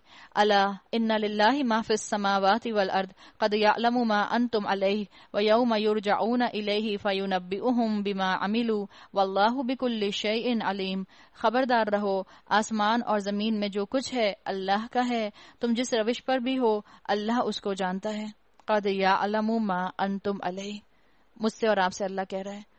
तुम्हारे दिल में जो जज्बात हैं तुम्हारे जो ख्यालात हैं, तुम्हारी जो हिम्मतें हैं, तुम जो कुर्बानियाँ दे रही हो, याद रखो, अल्लाह जानता है। जिस रोज लोग उसकी तरफ़ पलटाए जाएँगे, वो उन्हें बता देगा कि वो क्या कुछ करके आए हैं। वो हर चीज़ का इल्म लगता है। तो इससे पहले कि अल्लाह मेरा और आपका हिसाब ले, हम अपना हिसाब खुद ले लें। हासिबू कबला अंतु हासिबू। सूरतुल फुरकान सूरतुल फुरकान मक्की सूरत है। फुरकान का मतलब होता है स्टैंडर्ड मैार कसौटी क्राइटेरियन तबारकल्लजी नज्जल अलफुरकान अला अबदिही लियकून लिलआलमीन नजीरा। नहायत मुतबर्रिक है वो जिसने ये फुरकान अपने बंदे पर नाजिल किया ताकि सारे जहान वालों के लिए खबरदार कर देने वाला हो। तो यहाँ बता दिया गया कि कामयाबी और नाकामी का फ़र्क करने वाली ये किताब है। इसको जज बनाओ अपना। अपनी इसलाह वही करेगा जिसके अंदर आजजी होगी, जो इस किताब के आगे झुक जाएगा, जो गलती सुनकर अपनी गलती को जस्टिफाई नहीं करेगा, बल्कि सॉरी बोलेगा और उसके अंदर तकबर नहीं होगा। इस सूरत के अंदर आपको इंजार आम मिलेगा और खुशखबरी खास मिलेगी। यानी इंजार वार्निंग सबके लिए है और खुशखबरियाँ उनके लिए हैं जो अल्लाह और अल्लाह के रसूल की इतात करें। तो बता दिया गया कि अल्लाह को जज बनाएँ। अल्लाह रसूल से बेहतर जज कौन हो सकता है? बाबरकत। बाबरकत का मतलब होता है मुबारक, फायदामंद, खुशी देने वाला, और वो जिससे मकसद पूरा हो जाए। नहायत मुतबरक है वो जिसने। अल्लाह ही मुझे और आपको हमारे मकासद में कामयाब कर सकता है। अल्लाह का नाम ही हमारे कामों के अंदर बरकत डाल सकता है। अल्लाह के नाम के साथ ही, अल्लाह के कवानीन के साथ ही हमारी ज़िंदगी में फ़ायदे आ सकते हैं। और अल्लाह की शरीयत ही मुझे और आपको खुशी देने वाली है असल में। वो जो ज़मीन और आसमानों की बादशाही का मालिक है, जिसने किसी को बेटा नहीं बनाया है, जिसके साथ बादशाही में कोई शरीक नहीं है, जिसने हर चीज़ को पैदा किया, फिर इसकी एक तकदीर मुकर्र कर दी। फकत फ़कदरहू तकदीरा। हमारा भी रिस्क, हमारी भी ज़िंदगी, हमारा भी मौत, हमारा खानदान सब अल्लाह ने फिक्स कर दिए हैं। ये जो सूर्य फुरकान की आयत नंबर दो है, इसमें स्कॉलर्स के मुताबिक तोहीद का तस्वुर है। और उनका कहना है कि सुन्नत यह है कि जब बच्चा बोलना शुरू करे तो उसको ये आयत नंबर दो याद करवा दें। इसलिए कि इसमें तोहहीद का कॉन्सेप्ट बहुत गाढ़ा है। याद रखें, जो भी दुनिया मुझे और आपको हासिल हो रही है, वो आपने और मैंने डिसाइड नहीं किया कि मेरे वालदेन कौन होंगे, मेरी शादी कहाँ होगी, मेरी औलाद कितनी होगी। लेकिन आखिरत बनाना या बिगाड़ना मेरे हाथ में है। लोगों ने उसे छोड़कर ऐसे मबूद बना लिए जो किसी चीज़ को पैदा नहीं करते, बल्कि खुद पैदा किए जाते हैं, जो खुद अपने लिए भी किसी नफा या नुकसान का इख्तियार नहीं रखते, जो ना मार सकते हैं, ना जला सकते हैं, ना मरे हुए को फिर उठा सकते हैं। जिन लोगों ने नबी की बात मानने से इनकार कर दिया है, वो कहते हैं, ये फुरकान एक मन घड़त चीज़ है, जिसे इस शख्स ने आप ही घड़ लिया है, और कुछ दूसरे लोगों ने इस काम में इसकी मदद की है। बड़ा जुल्म और सख्त झूठ है जिस पर ये लोग उतर आए हैं। तो यहाँ बता दिया गया कि अल्लाह के रसूल सल्लल्लाहु अलैहि वसल्लम के ऊपर भी इस तरह के इल्ज़ाम लगते थे। अगर तुम्हारे ऊपर भी दीन पर अमल करने में इल्ज़ाम लगेंगे तो लोगों का खौफ मत रखना। सिर्फ़ अल्लाह का खौफ रखो। और याद रखो कि लोग तुम्हारी परेशानियाँ दूर नहीं कर सकते, ना दुनिया की, ना रोज़े मैशर की। वो अल्लाह होगा जो तुम्हारी दुनिया की परेशानियों को भी दूर करेगा, मसाइल हल करेगा, तुम्हें मुश्किल से निकालेगा और आखिरत में भी रोज़े मैशर तुम्हें अपने अर्श के साय में जगा देगा। तो बाबरकत वो हो जाएगा जो अपने आप को अल्लाह के साथ अटैच कर ले। मगर लोगों का हाल क्या है? कहते हैं ये पुराने लोगों की लिखी हुई चीज़ें हैं जिन्हें ये शख्स नकल करा, कराता है और वो इसे सुबह और शाम सुनाई जाती हैं।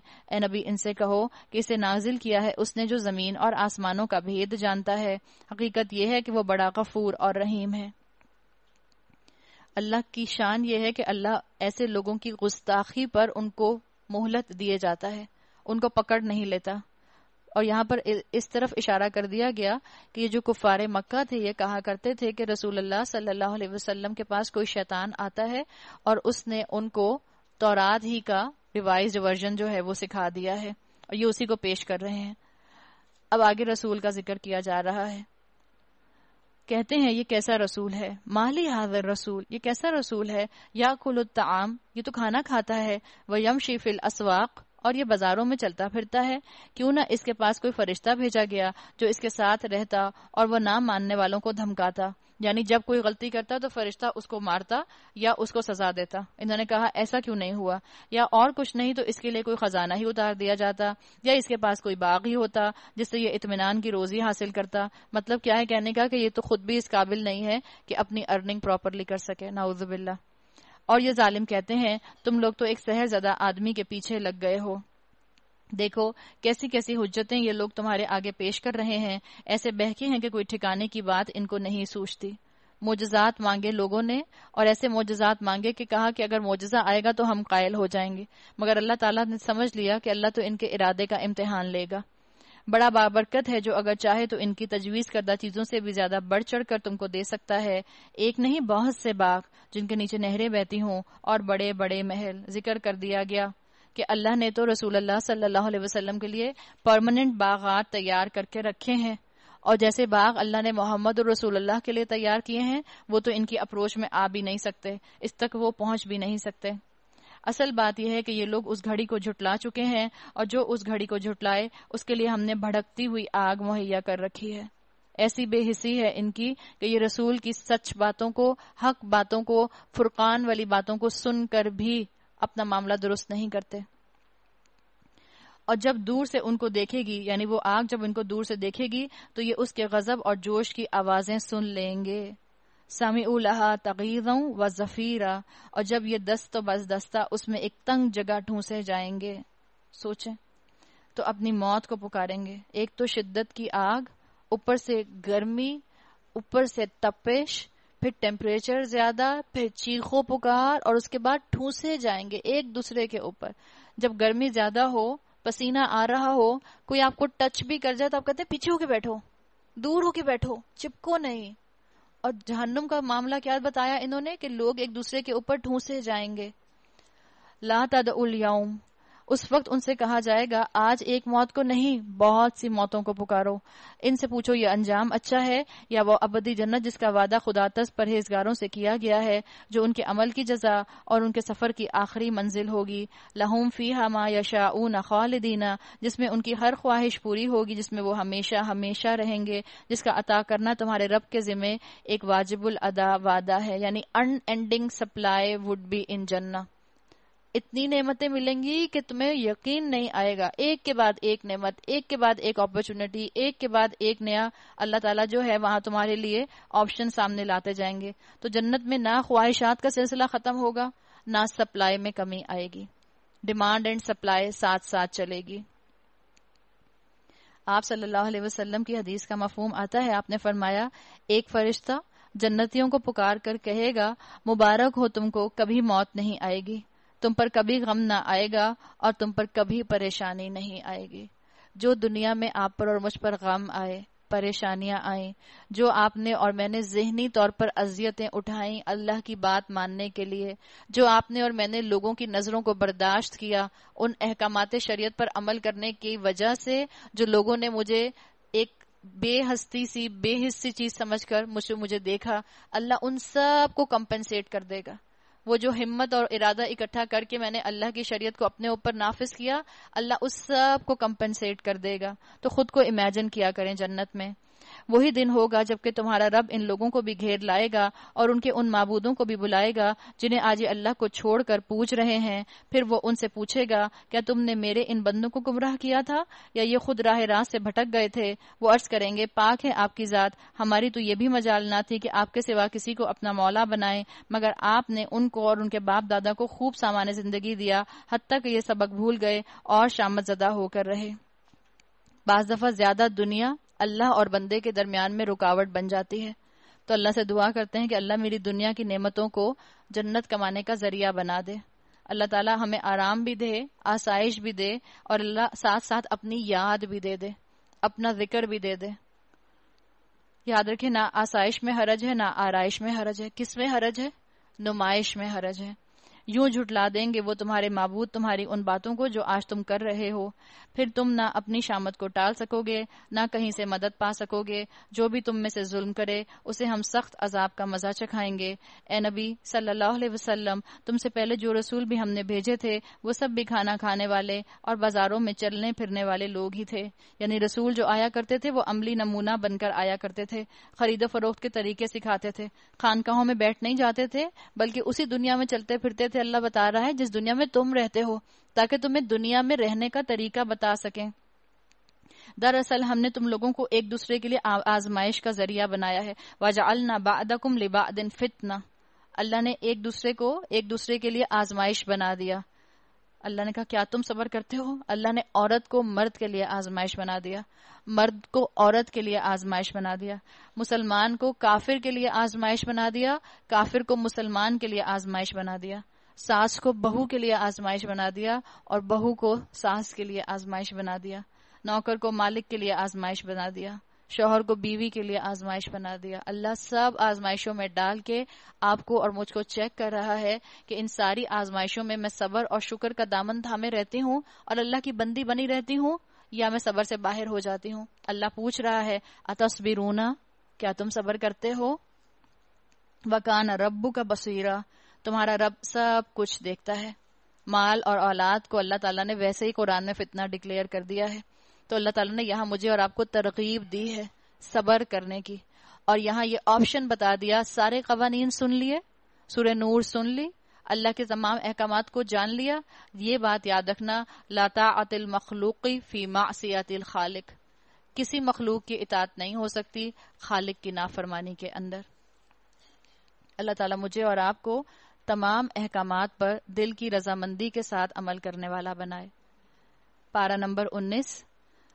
वक़ाल अल्लज़ीन ला यरजून लिक़ाअना लौला उनज़िल अलैना अलमलाइकतु औ नरा रब्बना।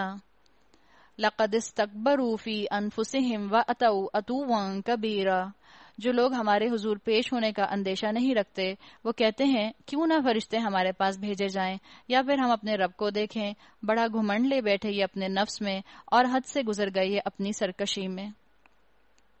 बता दिया गया कि इन्होंने इनकार किया लोगों ने किस वजह से कि ये इसी इंतज़ार में रहे कि कोई एक्स्ट्रा ऑर्डिनरी चीज़ इनके सामने आ जाए, कोई फरिश्ता इनके सामने आ जाए, जो इनके सामने अल्लाह की आयात बयान करे, और ये लोगों का हमेशा से तरीका रहा। हम कुरान को कुरान के साथ कैसे मान लें? इसके साथ कुछ और भी हमें दिखाया जाए, ये तरीका। जिस रोज ये फरिश्तों को देखेंगे, वो मुजरमों के लिए किसी बशारत का दिन ना होगा। अल्लाह जब फरिश्ते नाजिल कर देगा तो तो आलिम गैब खुल गया। आलिम शहादा बंद होने लग जाएगा। इस वक्त तो आप और मैं आलिम शहादा के अंदर हैं। ये दुनिया आलिम शहादा है। शहादा गवाही से है। आप और मैं गवाह हैं कि आप और मैं इस दुनिया में हैं।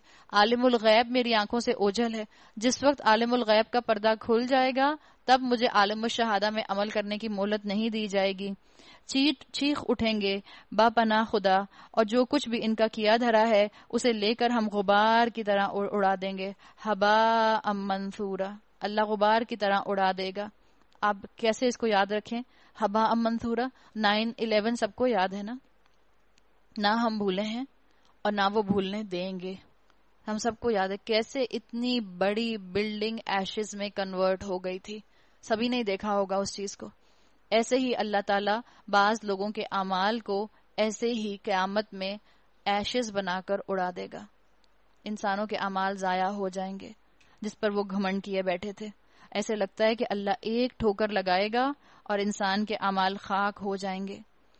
बस वही लोग जो जन्नत के मुस्तक हैं, उस दिन अच्छी जगह ठहरेंगे और दोपहर गुजारने का उम्दा मकाम पाएँगे। आसमान को चीरता हुआ एक बादल उस रोज नमूदार होगा। फरिश्तों के परे के परे उतार दिए जाएँगे। उस रोज हकीकी बादशाही सिर्फ़ रहमान की होगी। अल मलकू यौमा रहमान और वो मुनकरीन के लिए बड़ा सख्त दिन होगा। जालिम इंसान अपने हाथ चबाएगा। टेंशन में बाज लोग नाखून नहीं चबाते। बाज लोग उंगलियों के किनारे चबाते रहते। आप सोचें एक इंसान अपना हाथ चबाने लग जाए और एक हाथ के लिए भी अपने दोनों हाथ चबाने लग जाएगा। दो हाथ मुँह में, इस कदर परेशानी का आलम, इस कदर टेंशन, और कहेगा, काश मैंने रसूल का साथ दिया होता।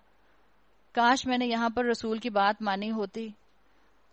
यकूल, या लई तनी इत तखस्तुम और रसूल सबीला। शायद मैंने रसूल के रास्ते का साथ दिया होता। रसूल की सुन्नत को अपनाया होता। सुन्नत का मतलब होता है रास्ता। सुन्नत का मतलब होता है तरीका। लेकिन इन्होंने निगलेक्ट कर दिया। रसूल को काबिल ताजीम तो समझा, काबिल तकलीद ना समझा। अमल करने के लिए उनको फॉलो ना किया। हाय मेरी कम बख्ती काश मैंने फलां शख्स को दोस्त ना बनाया होता फुलान खलीला। फलां शख्स से मैंने दोस्ती ना की होती। याद रखें, शैतान भी सिंसियर फ्रेंड बनकर सामने आता है। और शैतान हमारे ही इर्द गिर्द मौजूद इंसानों में से किसी की शक्ल में आता है। कभी हो सकता है औलाद की शक्ल में आए। कभी हो सकता है किसी सिंसियर फ्रेंड की शक्ल में आए। कभी हो सकता है किसी दोस्त अहबाब की शक्ल में आए। ऐसे तमाम दोस्त जो आपको और मुझे अल्लाह की नाफरमानी करने की दावत दें, अल्लाह की अल्लाह के अहकाम को कहें, मामूली बनाकर दिखाएँ और दुनिया के अहकाम पर मुझे और आपको जम जाने को बताएँ, समझ लें वो इंसानी शक्ल में शैतान है। तो अल्लाह ताला ने बता दिया कि तुम्हारा कितना ही क्रिज्मेटिक दोस्त क्यों ना हो, कितनी ही अच्छी पर्सनैलिटी रखने वाला दोस्त क्यों ना हो, कितने ही अच्छे एक्सेंट से क्यों ना बोलता हो। अगर वो तुम्हें अल्लाह की नाफरमानी का कह रहा है तो तुम उसकी बातों में ना आना, वरना क्यामत के दिन तुम पछताओगे।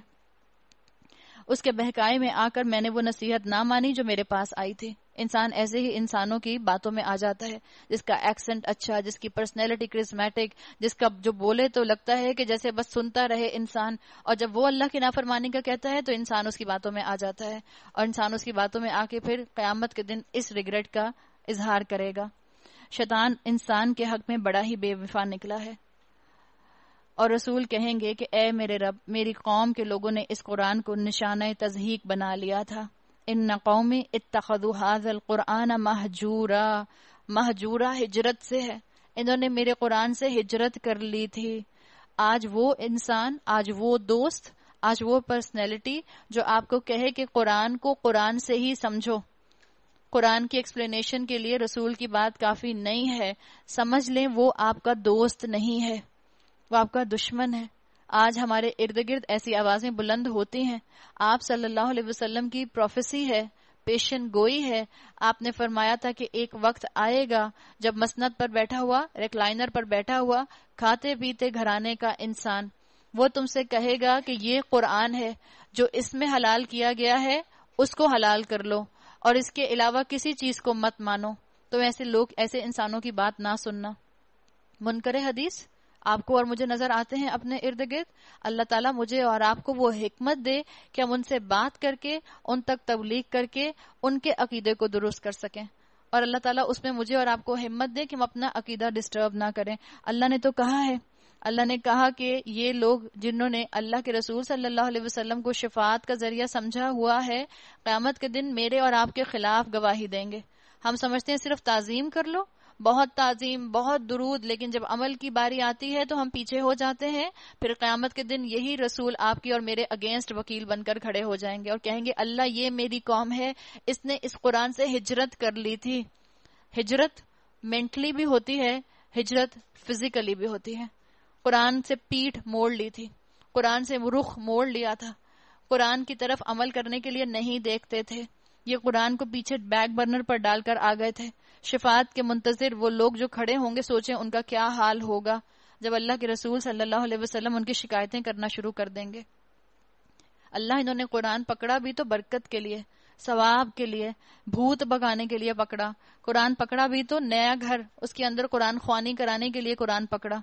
कुरान पकड़ा भी तो दुल्हन के सर पर रखने के लिए, और जिस महफिल में शोर मचता है, रुखसती के वक्त कुरान लाओ कुरान लाओ कुरान लाओ। और कुरान के साय से दुल्हा और दुल्हन को गुजारा जाता है। एक नज़र पीछे की गैदरिंग पर मुड़कर डाल लें। जिस दुल्हा और दुल्हन के सर के ऊपर से कुरान गुजारा जा रहा होता है, उसी महफिल में मौजूद एक एक इंसान को देख लें पीछे मुड़कर। क्या वो कुरान से हिजरत का मामला नज़र नहीं आता? एक से एक बेटी को तैयार करके हम अपनी दुल्हन तो दुल्हन हम अपनी बच्चियों को भी खूब तैयार कर, करके लेकर जाते हैं। और दुल्हन का क्या कहना? फोटोग्राफर हैं, और एक नहीं दो दो फोटोग्राफर हैं चार चार फोटोग्राफर हैं मूवी मेकर हैं। और अब जिसने आपकी बेटी नहीं देखी, वो भी आपकी बेटी देखता है। इसलिए कि फेसबुक के ऊपर जाकर दुल्हने अपनी तस्वीर पोस्ट करना जो है, अपना पूरा हक समझती हैं।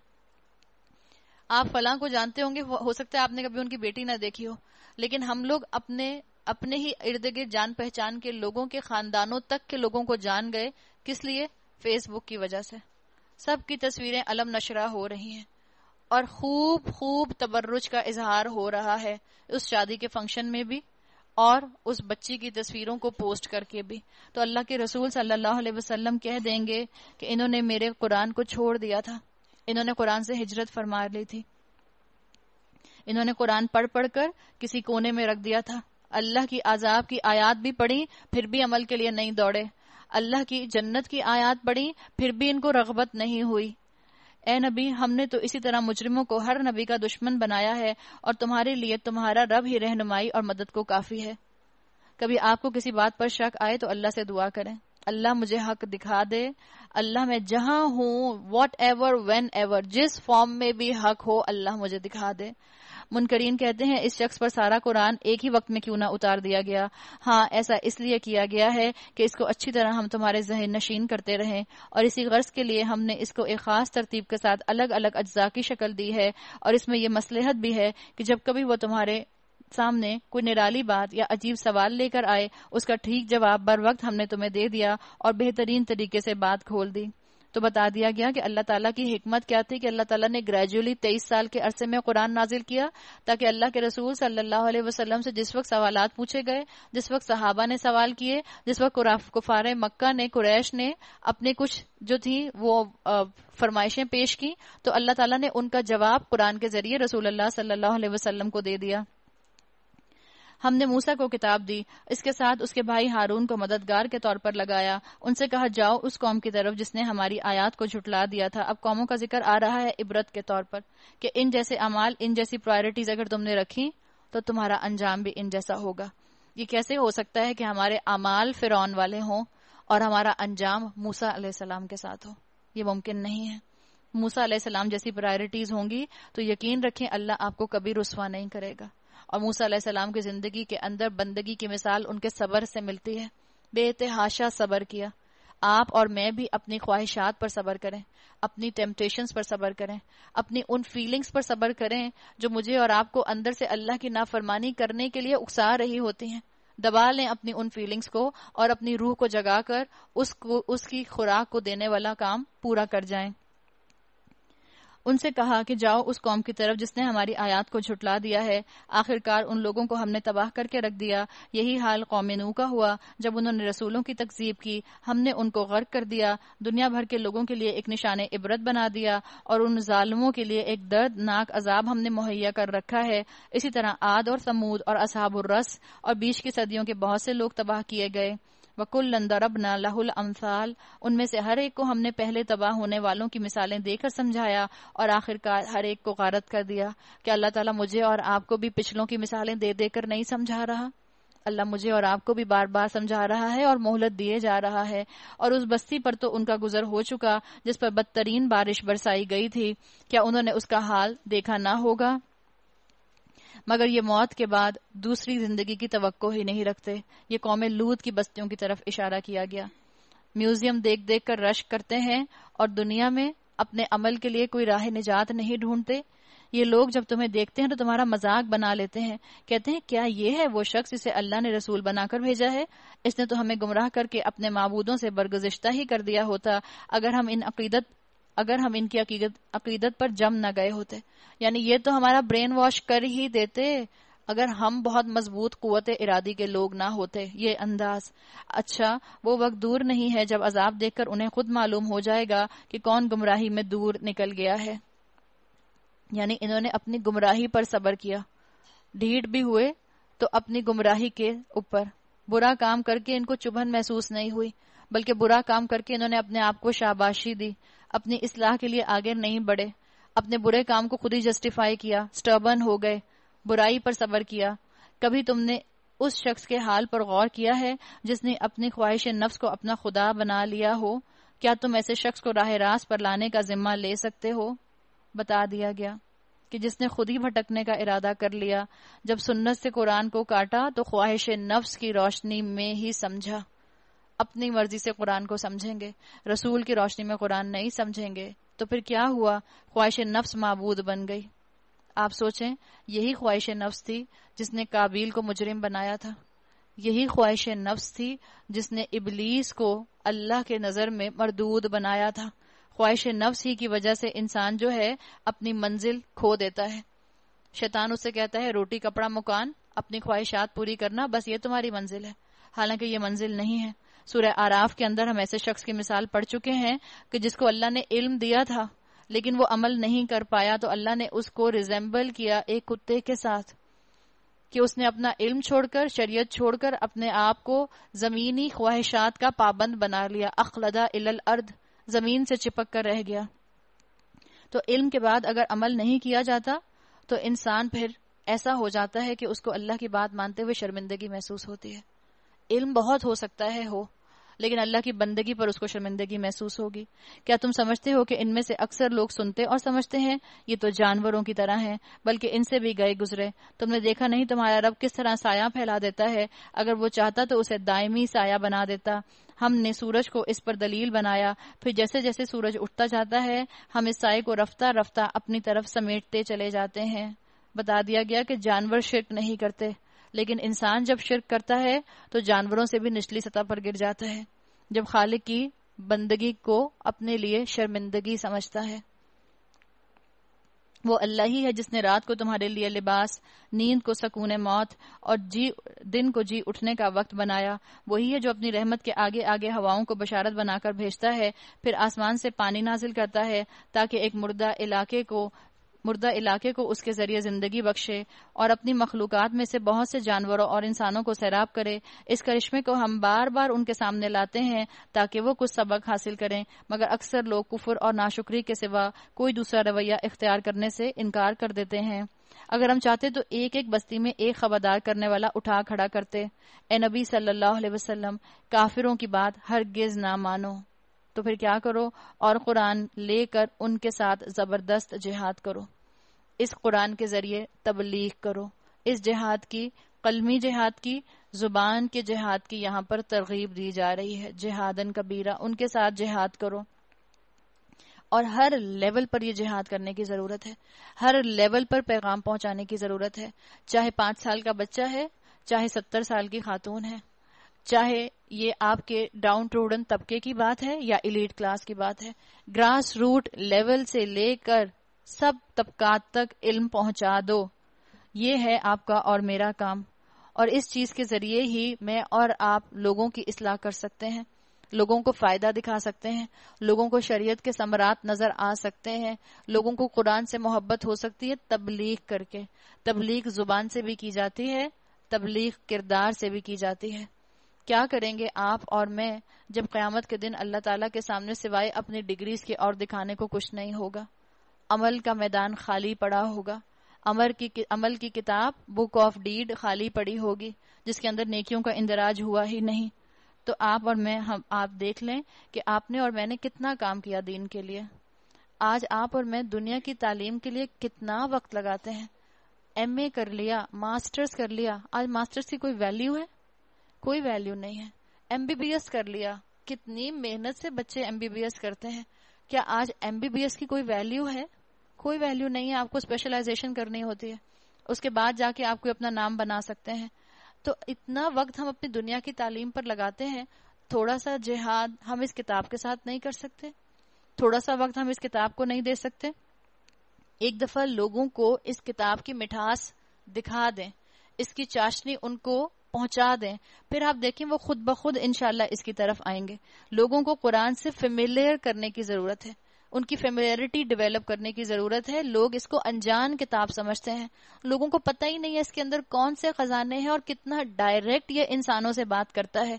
तो इनवाइट करने की ज़रूरत है और हम अल्लाह ताला को क्यामत के दिन क्या जवाब देंगे, जिनको अल्लाह ने मौका दे दिया कुरान सुनने का।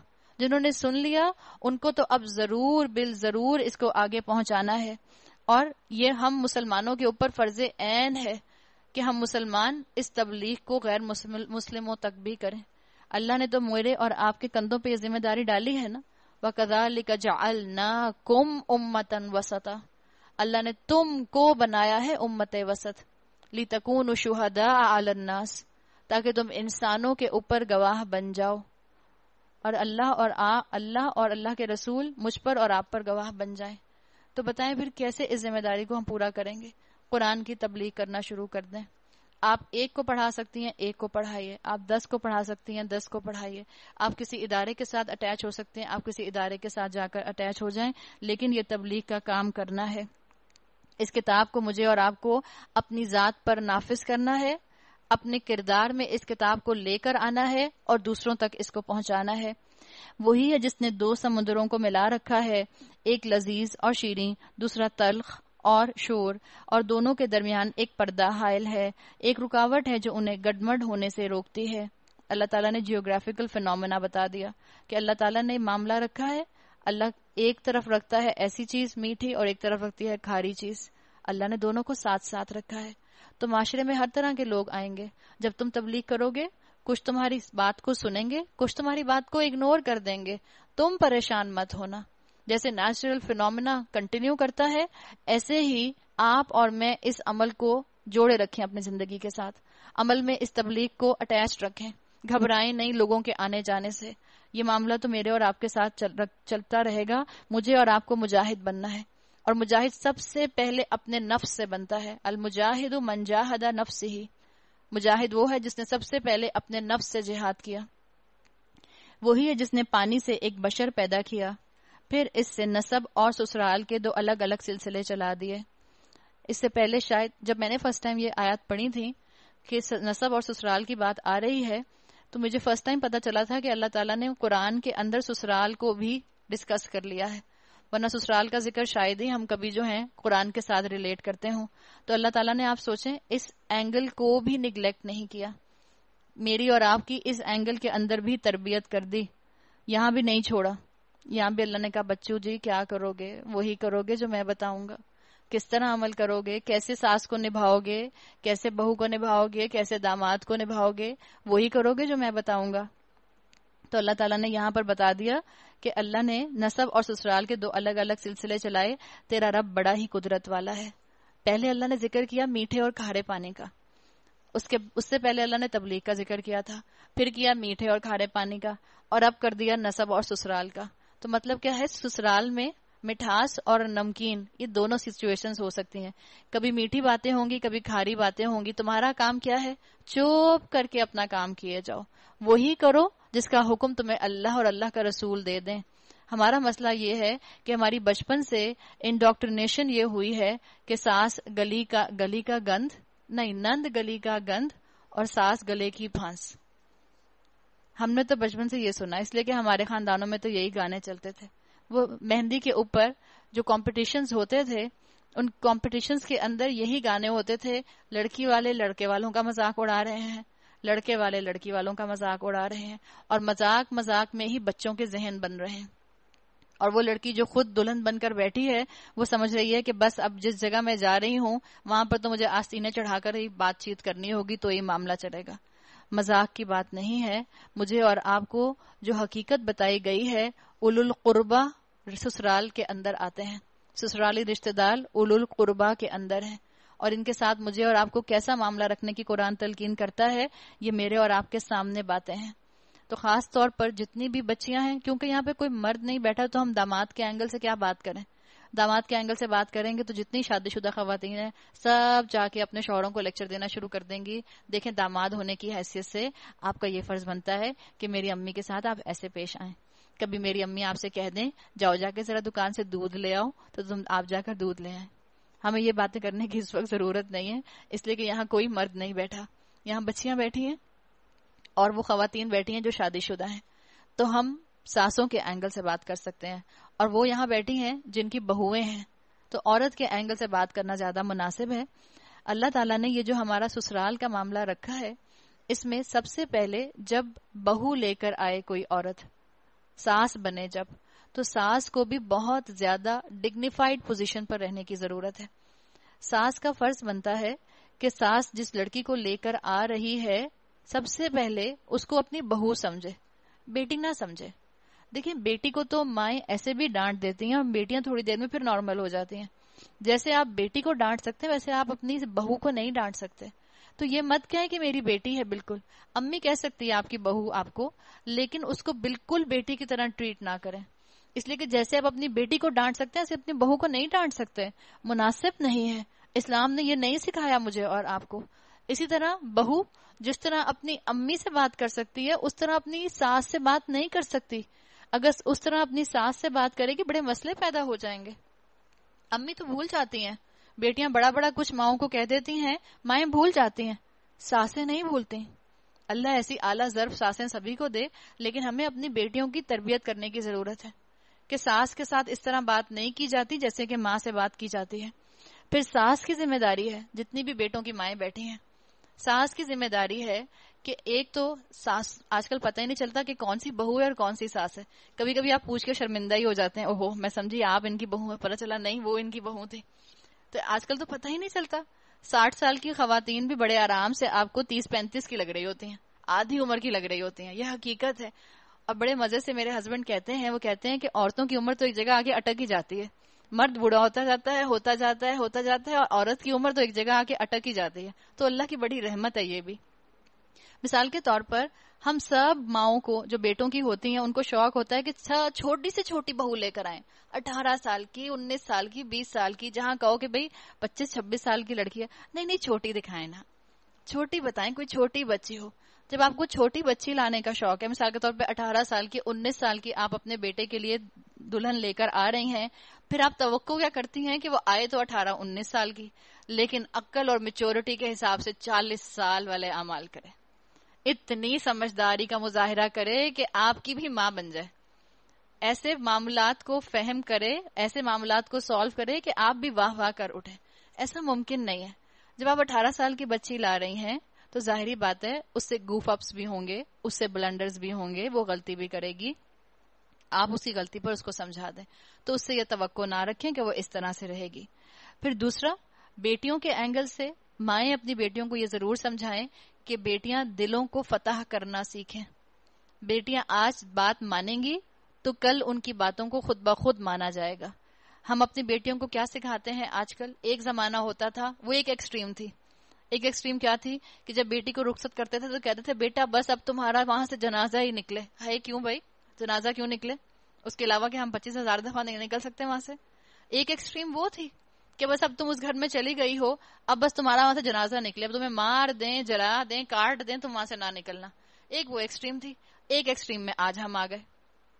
हम क्या कहते हैं? सास की बात बर्दाश्त नहीं करना। डांटेंगी ना, मुझे फ़ोन कर देना, मैं ड्राइवर भेज दूँगी। ये दूसरी एक्सट्रीम है। इन दो एक्सट्रीम्स के दरमियान में नहीं हम रह सकते। हमें तो उम्मत वसत बनाया गया है, फिर हम दरमियान में आना पसंद क्यों नहीं करते? हम एक एक्सट्रीम से निकलकर दूसरी एक्सट्रीम पर चले जाते हैं पेंडुलम के स्विंग की तरह हमारा मामला है। इधर से जाएँगे, उधर चले जाएँगे, उधर से जाएँगे, इधर चले जाएँगे सेंटर में आप और मैं टिक नहीं सकते। तो ज़रूरत किस बात की है? कि अल्लाह ताला मुझे और आपको तौफीक दे कि हम अपनी बेटियों को सॉफ्ट स्किल्स सिखाएँ। दिलों को जीतना सिखाएँ। और दिलों को जीतने का मकसद क्या है? मिसाल के तौर पर, आपने, अभी आपकी शादी हुई है। एक हफ़्ता, दो हफ़्ता, तीन हफ़्ते हुए हैं। और आप अपनी सास के साथ बैठी हैं। आपको पता है आपकी सास की चाय का टाइम हो रहा है। तो बहू का क्या फ़र्ज़ बनता है? मैं चाय बना कर लाती हूँ। कोई फ़र्ज़ तो नहीं है कि जब तक एक साल, दो साल, तीन साल गुजर नहीं जाएँगे, मैं किचन की शक्ल नहीं देखूँगी। चाय बनाने में क्या है? माए कहती किचन में मत जाना, फिर तुम्हारे ऊपर सारी किचन की ज़िम्मेदारी आ जाएगी। तो जब माए ऐसी होंगी तो बताएँ फिर बेटियाँ कैसी होंगी। हम घरों के अंदर अपनी बेटियों से काम चाहे ना कराएँ, लेकिन उनको तैयार ज़रूर करें जहनी तौर पर। और यही चीज़ें होती है जिससे इंसान एक दूसरे का दिल जीत लेता है। एक चाय की प्याली बनाने में क्या मुश्किल काम है? आजकल चाय की प्याली बनाना क्या मुश्किल काम है? टी बैग डाला, पानी आपने ऑलरेडी बॉयल रखा हुआ है, उसको आपने डाला और आपकी चाय बन गई। आसान सी चाय। कौन सी आजकल की सासें जो है, वो दूध पत्ती पीती हैं? सभी हेल्थ कॉन्शियस हैं। किसी को पकी हुई चाय नहीं चाहिए, इतनी गाड़ी गाड़ी सब जो है हल्की हल्की लाइट चाय पीने के आदि हैं तो दिलों को जीतना सिखाएँ, इससे भी आसानी होगी। फिर, हम अगर शादीशुदा हैं तो एक बात हम सीख लें कि अगर हम चाहते हैं कि ससुराल में हमारी इज़्ज़त हो, ससुराल में अल्लाह ताला की अहकाम के मुताबिक मैं ज़िंदगी गुजारूं तो अपने शौहर के साथ कभी भी उसकी बहनों की या उसकी माँ की बुराई ना करें। आप देखें, आपके शौहर के दिल में अल्लाह ताला कितनी आपकी इज़्ज़त डाल देंगे। वो खुद देखेंगे कि आप उनकी माँ बहनों का कितना ख्याल रखती हैं। अल्लाह ने ये ससुराल के रिश्ते बनाए हैं। जब अल्लाह ताला ने इस्लाम में पड़ोसी का हक इतना ज़्यादा रखा कि अल्लाह के रसूल सल्लल्लाहु अलैहि वसल्लम ने फरमाया कि मुझे लगा कि अब विरासत के अंदर भी पड़ोसी को हकदार कर दिया जाएगा। तो उस उस पड़ोसी का हक जहाँ है तो जो आपके बराबर के कमरे में आपकी सास रहती है या आपकी नंद रहती है, उसका कोई हक आपके ऊपर ना होगा। अल्लाह ताला ने बड़े हकूक रखे हैं। हम हर चीज़ को टू प्लस टू करने की कोशिश करते हैं तो जिंदगियाँ सख्त हो जाती हैं। जिंदगियों के अंदर सॉफ्टनेस आएगी जब आप और मैं अपने मॉरल कॉन्ट्रैक्ट्स का ख्याल रखेंगे, सोशल कॉन्ट्रैक्ट्स का ख्याल रखेंगे। इससे ज़िंदगी में मोहब्बतें पैदा होती हैं और शेयर करना सीखें। आप बहू बन के जा रही हैं, आप बहू हैं, आपकी एक छोटी नंद भी है, वो आपके साथ रहती है, आप अपने कपड़े उससे शेयर कर लें। कोई मुजाहिका है? या बहू कहे कि, नहीं, मैं क्यों दू अपने कपड़े इसको? तो शादीशुदा लड़की के कपड़े हैं। ये तो अनमेरिड है। इसको थोड़ी अच्छे लगेंगे ये कपड़े। नहीं देते हैं शेयर कर लें। ये भी मुनासिब नहीं है। आपने डिलीवरी मंगाई पिज्जा आया। और पिज्जा लेके जल्दी से अपने कमरे में। और जो बचा वो कमरे की फ्रिज के अंदर। वो जमाने अच्छे थे कि जब कमरों के अंदर फ्रिजेस नहीं होते थे। इसलिए कि ना फ्रिज होगी, ना बचा हुआ खाना अंदर जाएगा। तो ज़ाहिर बात है, सभी के सामने फ्रिज में आएगा तो फिर सबके साथ शेयर होता था। अब क्या होता है, जब पिज्जा आता है तो यहाँ से वहाँ तक खुशबू फैलती है। क्या सास की नाक के ऊपर क्लिप लगा दिया आपने कि उसे खुशबू नहीं आएगी? या नंद की नाक पे क्लिप लगा दिया कि उसे खुशबू नहीं आएगी? और कमरे में ले गए, और जल्दी से खा लिया और बाकी फ्रिज में डाल दिया। और मुँह साफ़ करके आके बैठ गए। मैंने तो सुबह से कुछ भी नहीं खाया। ऐसे ससुराल नहीं निभाए जाते। आपको और मुझे जो ससुराल निभाना है, उसमें मुझे और आपको शेयरिंग करनी है। उसमें मुझे और आपको सेक्रीफाइस करना है। उसे मुझ, उसमें मुझे और आपको डिग्निटी के साथ रहना है।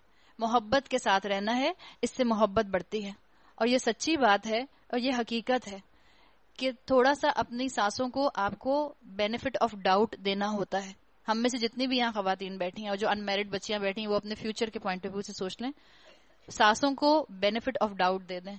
इसलिए कि उनकी उम्र बढ़ रही होती है ना चाहे देखने में वो कितनी भी यंग लग रही हो, बहरहाल उनकी मेमोरी वैसी नहीं रहती। जैसा दौर बेटियाँ देखती हैं माँ का, जैसा दौर आपकी नंदों ने देखा होगा अपनी माँ का, वो जवानी का दौर था। ताकत का ज़ोर ज़ोर देखा उन्होंने। पूरे सेंसेस को देखा, पूरे शऊर को देखा। बाय द टाइम जब तक बहू आती है, अगर सास बुज़ुर्ग हो गई है तो ज़ाहिर बात है, उनको फिर उनकी तल्ख बातें बर्दाश्त करनी होंगी। तो अपनी बेटियों को पहले से बता दें, बेटा, बर्दाश्त करना सीखो। आज बर्दाश्त करेंगी तो कल उनको बर्दाश्त किया जाएगा। और सब वो माए लड़कों की, जिनके घराने अफोर्ड कर सकते हैं। अगर वो चाहती हैं कि ससुराल में उनकी भी इज़्ज़त कायम रहे, उनकी बहू की भी इज़्ज़त कायम रहे और आपस में घरों में एक दूसरे को स्पेस देने का मामला रहे, अगर अल्लाह ने आपको गुंजाइश दी है तो बेटों को अलग कर दीजिए। उसको बहरहाल प्राइवेसी की ज़रूरत है। क्या सास को प्राइवेसी की ज़रूरत नहीं है? मिसाल के तौर पे आप खुद अभी सिक्सटी ईयर्स की हैं, बहू भी आ गई आपके साथ घर में। अब आपके भी तो शोहर हैं। आपका दिल नहीं करता अपने शोहर को अदाएँ दिखाएँ, हर वक्त सास बन के बैठी रहेंगी, बस सीरियस होके। हो सकता है आपका भी दिल कर रहा हो कि भाई मैं अपने शोहर को अपनी अदाएँ दिखाऊँ। अब अच्छा तो नहीं लगेगा ना, बहू के सामने आप भी अदाएँ दिखा रही हैं। वो अपने मियाँ को दिखा रही है, आप अपने मियाँ को दिखा रहे हैं। तो अगर अल्लाह ने गुंजाइश रखी है तो अलग अलग हो जाए। आप अपने शोहर को अदाएँ दिखाएँ, वो अपने शोहर को अदाएँ दिखाएगी। आपके शोहर है? क्या अच्छा लगता है हर वक्त चश्मा लगा के बैठी ने सास बन के हाथ पे हाथ रखे? कभी कभी आपके शोहर का भी दिल चाह रहा है कि आप उनको मोहब्बत से देखें। अब बच्चा भी बैठा है और बच्चे की बीवी भी बैठी है तो वो अच्छा तो नहीं लगता ना कि सास उसर लगे मैं दोनों आपस में? तोता मैना की तरह। तो अगर अल्लाह ने वसत दी है, उनको प्राइवेसी के साथ अलग कर दें। और अब तो बहुत आसानियाँ हो गई हैं। ऊपर का पोर्शन बहू को दे दिया, नीचे के पोर्शन में खुद आ गए। एक ही बाउंड्री के अंदर दो पोर्शन बना लिए, एक ही बाउंड्री के अंदर तीन पोर्शन बना लिए। ससुराल की इज़्ज़त, ससुराल का एहतराम, बहू को भी करना है, सास को भी करना है, इसी तरह से घर चलते हैं। अल्लाह ताला मुझे और आपको तौफीक दे कि हम बेहतरीन तरीके से हमारे खालिक ने जो हमें कवानीन दिए हैं, उनको अमल में ला सकें। और तल्ख और मीठे हालात को याद रखें, ससुराल के साथ अटैच किया गया है। तल्ख और मीठे हालात आए उनको संभालना सीखें, उसमें अपनी इसलाह का रवैया निकालें क्या है, और देखें कि आपने उसमें अपना कौन सा रिस्पॉन्सिबल बिहेवियर शो करना है। तेरा रब बड़ा ही कुदरत वाला है, उस खुदा को छोड़कर लोग उनको पूछ रहे हैं, जो ना उनको नफा पहुँचा सकते हैं, ना नुकसान, और ऊपर से मजीद दे के काफिर अपने रब के मुकाबले में हर बागी का मददगार बना हुआ है। ए नबी तुमको तो हमने बस एक बशारत देने वाला और खबरदार करने वाला बनाकर भेजा है। इनसे कह दो कि मैं इस काम पर तुमसे कोई उजरत नहीं माँगता। मेरी उजरत बस यही है कि जिसका जी चाहे, वो अपने रब का रास्ता इख्तियार कर ले। ये है हकीकी मुबल्लिग, बेलॉस, बेगर्ज। बस मकसद क्या है मैं लोगों तक बात पहुँचा दूँ और लोग मेरे लिए सदका जारिया बन जाएँ। बेलॉस खिदमत करना। ए नबी, इस खुदा पर भरोसा रखो जो ज़िंदा है और कभी मरने वाला नहीं। उसकी हमद के साथ उसकी तस्वीर करो। अपने बंदों के गुनाहों से बस उसी का बाखबर होना काफ़ी है। वो जिसने छह दिनों में ज़मीन और आसमानों को और उन सारी चीज़ों को बनाकर रख दिया, जो आसमान और ज़मीन के दरमियान है, फिर आप ही अर्श पर जलवा फरमा हुआ, रहमान, उसकी शान बस किसी जानने वाले से पूछो। इन लोगों से जब कहा जाता है कि उस रहमान को सजदा करो तो कहते हैं एटीट्यूड देखें, ये रहमान क्या होता है? वमर रहमान, ये रहमान क्या होता है? क्या बस जिसे तू कह दे, उसी को हम सजदा करते फिरें? ये दावत उनकी नफरत में उल्टा और इजाफा कर देती है। बड़ा मुतबर्रिक है जिसने आसमान में बुर्ज बनाए और उसमें एक चराग और एक चमकता चाँद रोशन किया। वही है जिसने रात और दिन को एक दूसरे का जान नशीन बनाया। हर उस शख्स के लिए जो सबक लेना चाहे ना शुक्र गुजार या शुक्र गुजार होना चाहे। व इबादुर रहमान। कल आपसे बात की थी, जिस तरह सूरतुल मोमिनून के अंदर अल्लाह ताला ने एक क्राइटेरिया बताया है, इसी तरह ईमान का इजहार करने वाली शख्सियत कैसी होती है, टॉप ईमान के ऊपर कैसे लोग होते हैं, वो क्राइटेरिया, वो सिलेबस स्कॉलर्स के मुताबिक इन आयात के अंदर छुपा हुआ है, एम्बेडेड है, जिनको टाइटल दिया गया है इबादुर रहमान रहमान के असली बंदे वो हैं, जो ज़मीन में नरम चाल चलते हैं। यानी वो कैसे होते हैं? एग्रेसिव नहीं होते। पीछे ससुराल वालों का ज़िक्र किया था। और उसके साथ अल्लाह ताला ने यहाँ बता दिया कि जो अल्लाह के बंदे होते हैं, जो रहमान के बंदे होते हैं, अल्लाह ने ये नहीं कहा इबादुल्लाह। अल्लाह के बंदे नहीं इबादुर रहमान रहमत के साथ इन्वॉल्व किया उनको अपने। जो अल्लाह के बंदे होते हैं, वो नरम चाल चलते हैं। एग्रेसिव नहीं होते। पैसिव रवैया उनका उनका रवैया कैसा होता है? आराम से रहने वाला। एग्रेसिव नहीं है ऑपरेसिव नहीं है। पैसिव रहते हैं। अपनी जात को नुमाया करने का उनको शौक नहीं होता। आप अगर ऐसी बात अपने जहन में ससुराल के एंगल से लेकर आए तो आजकल तो लड़कियों की अपनी माओ से नहीं बनती। तो बस सोचें जरा सासों से कैसे बनेंगी। अगर माओ ने उनकी तरबियत ना की तो वो कभी भी अपने ससुराल में बेहतरीन तरीके से अच्छी बहू अपने आप को नहीं बनाकर रख सकती। तो नरम चाल चलने वाले होते हैं रहमान के बंदे। सलामती की बात करते हैं। और जाहिल उनके मुँह आए तो कह देते हैं, तुमको सलाम. व इदा ख्वातबाहुमुल जाहिलूना कौलू सलामा। अरबी ज़ुबान में जाहिल किसको कहते हैं? जो एग्रेसिव हो, जो इमोशनल हो, जो अपने जज्बात पर काबू ना रख सके, जिसको गुस्सा बहुत जल्दी आ जाए। मिसाल के तौर पर आपकी सास को आप पर बहुत गुस्सा आ रहा है, आप कहें, सलाम। ये मतलब है इसका? नहीं, इसका ये मतलब नहीं है। इसका मतलब ये है, खामोशी का इजहार करें उस वक्त। बैक टू बैक आंसर ना करें, तुर्की ब तुर्की जवाब ना दें, सबर का मुजाहरा करें। जब इमोशनल लोग तुमसे बात करें, सबर का मुजाहरा। जब गुस्से वाले जज्बाती लोग तुमसे बात करें, जिसकी बात का जवाब देने का मकसद सिर्फ़ और सिर्फ़ क्या होगा? झगड़े को तूल देना तो खामोशी का इजहार करो। सलाम का मतलब है सलामती भेजो, खामोश हो जाओ। जो अपने रब के हजूर सजदे और क्याम में रातें गुजारते हैं, जो दुआएँ करते हैं, इतनी आला शख्सियत कब बनती है? जब आला रब की बंदगी की जाती है। सलामती की बात करने वाला याद रखें रिएक्शनरी नहीं होता। आला हस्ती की इबादत की वजह से उसके अंदर आजजी आ जाती है। इसलिए कि कसरत से दुआएँ करता है। अपनी स्ट्रेंथ के लिए अल्लाह से इतात की और अल्लाह से मोहब्बत की दुआएँ माँगता है। वो दुआएँ करते हैं ए हमारे रब, जहन्नुम के अजाब से हमको बचा ले। उसका अजाब तो जान का लागू है। वो तो बड़ा ही मुस्तकर और मुकाम है। हसन बसरी ने कहा कि एक दौर था कि लोग नेकी करके इतना डरते थे जितना आज मुसलमान गुनाह करके कभी भी डरते नहीं है, इतना डरा करते थे। जो खर्च करते हैं तो ना फजूल खर्ची करते हैं और ना बुखल, बल्कि उनका खर्च दोनों इंतहाओं के दरमियान एतदाल पर होता है। एक तो अल्लाह ने कहा कि वो कैसे बंदे होते हैं? नरम चाल चलने वाले। फिर कैसे बंदे होते हैं? बहसों में ना इन्वॉल्व होने वाले। इतना नेक बंदा है, उसके बाद भी अपनी नेकी का गर्रा नहीं है, बल्कि अल्लाह के हजूर रात में, क्याम में रातें गुजारता है। फिर दुआएँ करता है अल्लाह से। कि अल्लाह हमें जहन्नुम से बचा ले। फिर ये बताया कि रिस्पॉन्सिबल स्पेंडिंग करते हैं। बेजा खर्च करने वाले नहीं होते, इसराफ करने वाले नहीं होते, तबजीर करने वाले नहीं होते, बल्कि इन दोनों के दरमियान का रवैया इख्तियार करते हैं। वल्लवीन अल्लाहन आखर, जो अल्लाह के सिवा किसी और मबूद को नहीं पुकारते। बता दिया गया कि इस कबीरा गुनाह से महफूज रहते हैं। वला यकतलून नफ्सल्लती हर्रमल्लाहु इल्ला बिलहक। अल्लाह की हराम की हुई किसी जान को नाहक, हलाक नहीं करते और ना जिना के मुर्तकब होते हैं। ये काम जो कोई करे, वो अपने गुनाह का बदला पाएगा। क्यामत के रोज उसको अजाब दिया जाएगा और इसी में वो हमेशा जिल्लत के साथ पड़ा रहेगा। इल्ला ये कि कोई इन गुनाहों के बाद तौबा कर चुका हो। तो बता दिया, अगर तौबा की, और तौबा याद रखें, तौबा हाथ पाँव जिसम का अमल है। करके दिखाया जाता है कि अल्लाह मैंने तौबा कर ली। रुक जाया जाता है उस गुनाह से ताकि पता चल जाए कि अब मैं उस चीज़ के करीब भी नहीं जाऊँगी। इंसान कबीरा गुनाह करता है तो इंसान का ईमान उसके सर पर मोल्लक हो जाता है, जब तक कि इंसान तौबा नहीं कर लेता। एक हदीस का मफहम आता है। आप सल्लल्लाहु अलैहि वसल्लम ने फरमाया, इंसान जब कबीरा गुनाह करता है तो उसका ईमान चिड़िया की शक्ल में उसके सर पर मंडलाने लगता है और जब तक उसके दिल में वापस नहीं आता, जब तक कि वो तौबा नहीं कर लेता। तो यहाँ बता दिया गया कि ये वो लोग हैं जो इस तरह के कबीरा गुनाहों के अंदर इन्वॉल्व नहीं होते। और अगर किसी से कोई गलती हो जाए, इल्ला ये कि कोई इन गुनाहों के बाद तौबा कर चुका हो और ईमान लाकर अमले सवाले करने लगा हो, ऐसे लोगों की बुराइयों को अल्लाह भलाइयों से बदल देगा और वो बड़ा गफूर और रहीम है। इमेजिन तो करें, अल्लाह गुनाहों को नेकियों में बदल देगा। आप सल्लल्लाहु अलैहि वसल्लम की हदीस का मफहम आता है एक शख्स बहुत डर रहा होगा क्यामत के दिन कि उसका नामा अमाल अल्लाह के सामने खोला जाएगा। उसको खौफ आ रहा होगा, इसलिए कि उसको पता होगा कि उसके नामा अमाल में गुनाह है। और अल्लाह ताला पूछेंगे फरिश्तों से कि इसके तमाम सगीरा गुनाहों को बताया जाए। फरिश्ते उसके तमाम सगीरा गुनाह बताएँगे। अल्लाह के रसूल सल्लल्लाहु अलैहि वसल्लम ने फरमाया, अल्लाह कहेगा, इसके हर गुनाह के बदले इसको एक अजर दे दो। जब वो बंदा ये सुनेगा कि उसको उसके सगीरा गुनाहों के बदले में एक अजर मिल रहा है तो अल्लाह ताला से वो कहेगा, अल्लाह मेरे और गुनाह भी मैंने वो गलती भी की थी, मैंने वो गलती भी की थी। क्यों कह रहा है? इसलिए कि ताकि अल्लाह उनको भी हसनात में बदल दे। तो अल्लाह को किसी एक आपकी तौबा पर इतना प्यार आ जाए, अल्लाह को आपकी किसी एक कुर्बानी पर इतनी मोहब्बत का इजहार हो जाए कि अल्लाह ऐसा भी अपने बंदे के साथ कर सकता है।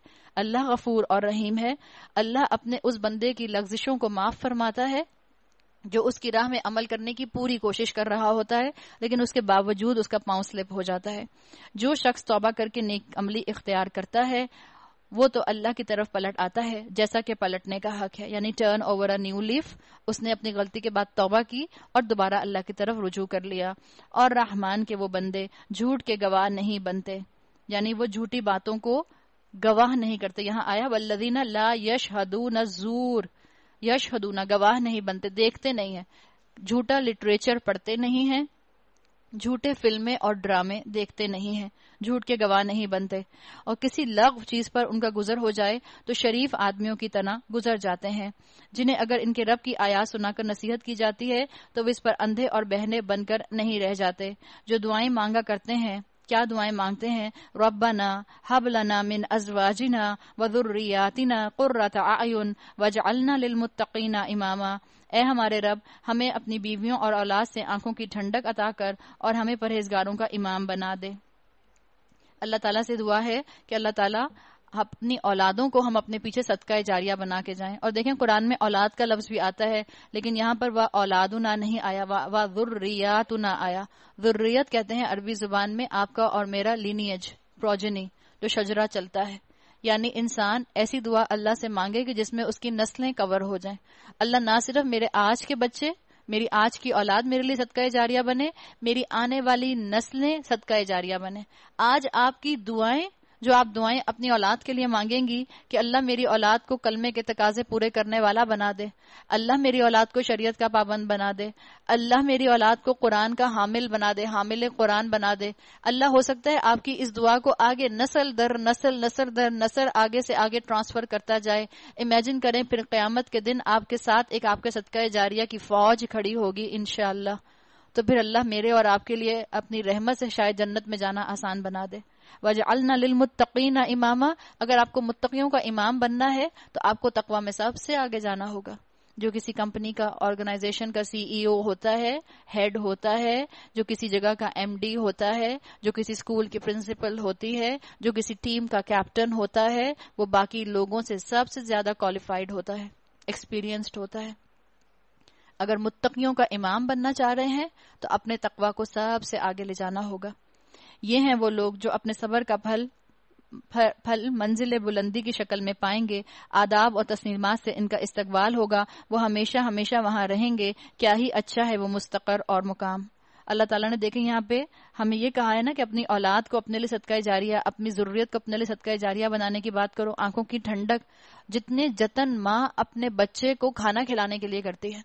आपका बच्चा है पाँच साल का, छह साल का, तीन साल का, दूध नहीं पीता। माए क्या करती हैं?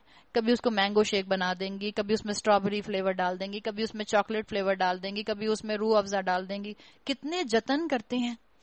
अपनी औलाद को अपने लिए सदका जारिया बनाने के लिए भी इतने ही जतन करने की ज़रूरत है। आप बात बताएँ आपकी नहीं सुनते? किसी और की बात सुनवाएँ। किसी और की बात भी नहीं सुनते? आप कोई लेक्चर सुनवाएँ। वो भी नहीं सुनते? आप कुछ और करें, फिर कुछ और करें। उनको कुरान के साथ जोड़ने के लिए आप जतन तो करें जैसे उनको खाना खिलाने के लिए जतन करते हैं, माए परेशान रहती हैं, अगर बच्चा एक वक्त का खाना नहीं खाता। नज़र लग गई मेरे बच्चे को, इसने खाना ही नहीं खाया दो वक्त से। कितना परेशान होते हैं। और इस बात पर परेशान नहीं होते। नज़र लग गई मेरे बच्चे को, इसने इतने महीनों से कुरान नहीं खोल कर पढ़ा। इस बात पर तो हमें कभी नज़र लगती हुई महसूस नहीं होती। हम कहते हैं, लो, ये भी कोई नज़र लगने की बात ये हमारा हाल है। तो इतनी ही फ़िक्र मुझे और आपको, अपनी औलाद को, अपने लिए सदका जारिया बनाने की होगी। तो इनशाला फिर अल्लाह ताला मुझे और आपको जन्नतुल फिरदौस में अपनी औलाद के साथ इकट्ठा फरमाएगा। अल्लाह हमको इन सिफात का हामिल बनाए। अल्लाह बस हम इस रमज़ान, इन आदतों को, इन आदतों को, इन सिफात को अपने अंदर अपना लें। ए नबी, लोगों से कहो, मेरे रब को तुम्हारी क्या हाजत पड़ी है? अगर तुम उसको ना पुकारो, अब के तुमने झुटला दिया, अन करीब वो सजा पाओगे, जिससे जान छुड़ाना महाल हो जाएगा। फ़कद कज़ब तुम फसऊफ यकून लिजामा लिजामा कहते हैं ऐसी चीज़ जो आपको चिपक जाए। ऐसा अजाब जो चिपक जाएगा इंसान को। इंसान से अलग नहीं होगा। तो हिदायत का नुकता आगाज़ दुआ है और इसके कबूल होने पर अमल का आगाज़ हो जाता है। इंसान की दुआ की कबूलियत की एक निशानी इंसान को अमल करने की तौफीक मिल जाती है। सूरत शुरा शुरा का मतलब है शायर पोइट्स बिस्मिल्लाहिर्रहमानिर्रहीम। इस सूरत के अंदर आपको रसूलों का पैगाम और उसका रिस्पांस जो है वो नज़र आएगा। तो सीमीम तिल का आयातुल किताबिल मुबीन लअल्ला का बाकी उन नफ्स का अल्लाह यकून मुमिनीन तो सीन मीम, ये किताब मुबीन की आयात हैं। रोशन क्लैरिटी से बात करने वाली किताब है। बता दिया, अल्लाह को यही बात पसंद है कि तुम भी क्लैरिटी से बात करो। अल्लाह की किताब बिल्कुल क्लैरिटी से बात करती है। मुबैन है, मुबीन है, रोशन है। ए नबी सल्लल्लाहु अलैहि वसल्लम, शायद तुम इस गम में अपनी जान खो दोगे कि ये लोग ईमान नहीं लाते। ला अल्लाह का बाखी उन बाखी उन आता है जैसे कि अपने आप को जिबाह कर लोगे। इनकी हमदर्दी में तुम इतने परेशान रहते हो। क्या हमारी आज ये फ़िक्र है? आप देखें रसूल अल्लाह सल्लल्लाहु अलैहि की फिक्रें। आपकी और मेरे लिए साढ़े चौदह सौ साल पहले परेशान थे। और आप और मैं उस औलाद के लिए परेशान नहीं होते जो मेरी और आपकी सर की आँखों के सामने है। अपनी नस्लों के लिए आप और मैं क्या परेशान होंगे? हमें ये डर नहीं लगता कि हमारी आने वाली नस्ल में पता नहीं कितने लोग होंगे जो कलमा गो भी होंगे कि नहीं होंगे। हमारी ही नस्लों से कितने लोग जो वेस्ट में जाके सेटल हुए और फिर अपने दीन से फिर गए। और वेस्ट में जाने तो दूर की बात है, हमारे पाकिस्तान में ही रहते हैं। और उनको कलमे के अलावा और कुछ नहीं आता। ना नमाज़ आती है, ना रोज़े की फ़िक्र है ना कुर्बानी देना पसंद करते हैं और ना हज और उम्र के लिए उनको किसी किस्म की क्रेविंग होती है। तो हमें डर नहीं लगता। हमारी फिक्रें ये नहीं है कि अल्लाह हमारी नस्लों को मुसलमान रख। रसूल अल्लाह सल्लल्लाहु अलैहि वसल्लम तो इतना परेशान हुआ करते थे। तो सबसे पहले मैं खुद जहन्नुम से बचने के अमाल करूँ, उसके बाद मैं दूसरों को हिम्मत देने वाली और सहारा देने वाली बन जाऊँ। आपने और मैंने रसूल अल्लाह सल्लल्लाहु अलैहि वसल्लम की तरह डूबतों को सहारा देने वाला बनना है। याद रखिए उनको हाथ देना है। ऐसा ना हो कि वो आपका हाथ भी पकड़ के आपको भी साथ अपने घसीट लें दुनिया के अंदर। हाथ दीजिएगा ताकि वो आपको थाम के बाहर आ जाए। ऐसा ना हो कि हमारा इतना ईमान कमज़ोर हो कि हम उनके साथ छलांग लगा दें। जो खुद जमा हुआ होगा, वो ही दूसरे को सपोर्ट कर सकेगा। वरना अगर आपकी अपनी सपोर्ट वीक होगी तो हो सकता है आप उनके हाथ के थामने की वजह से उनकी तरफ़ खिंच जाएँ। अल्लाह ताला मुझे और आपको भी अमल पर जमा कर रखे और इस फ़िक्र के साथ हम दूसरों को भी इस किताब की तरफ़ लेकर आए। हम चाहें तो आसमान से ऐसी निशानी नाजिल कर सकते हैं कि इनकी गर्दनें उसके आगे झुक जाएँ। इन लोगों के पास रहमान की तरफ़ से जो नई नसीहत भी आती है, ये उससे मुँह मोड़ लेते हैं। अब कि ये झुटला चुके हैं अन करीब इनको इस चीज़ की हकीकत मुख्तलिफ़ तरीकों से मालूम हो जाएगी, जिसका ये मज़ाक उड़ाते रहे हैं। क्या इन्होंने कभी ज़मीन पर निगाह नहीं डाली कि हमने कितनी कसीर मकदार में हर तरह की उम्दा नबातात इसमें पैदा की हैं? इन नफिजाल का आया। यकीनन इसमें एक निशानी है, मगर इनमें से अक्सर मानने वाले नहीं। हकीकत यह है कि तेरा रब बड़ा ज़बरदस्त भी है और रहीम भी।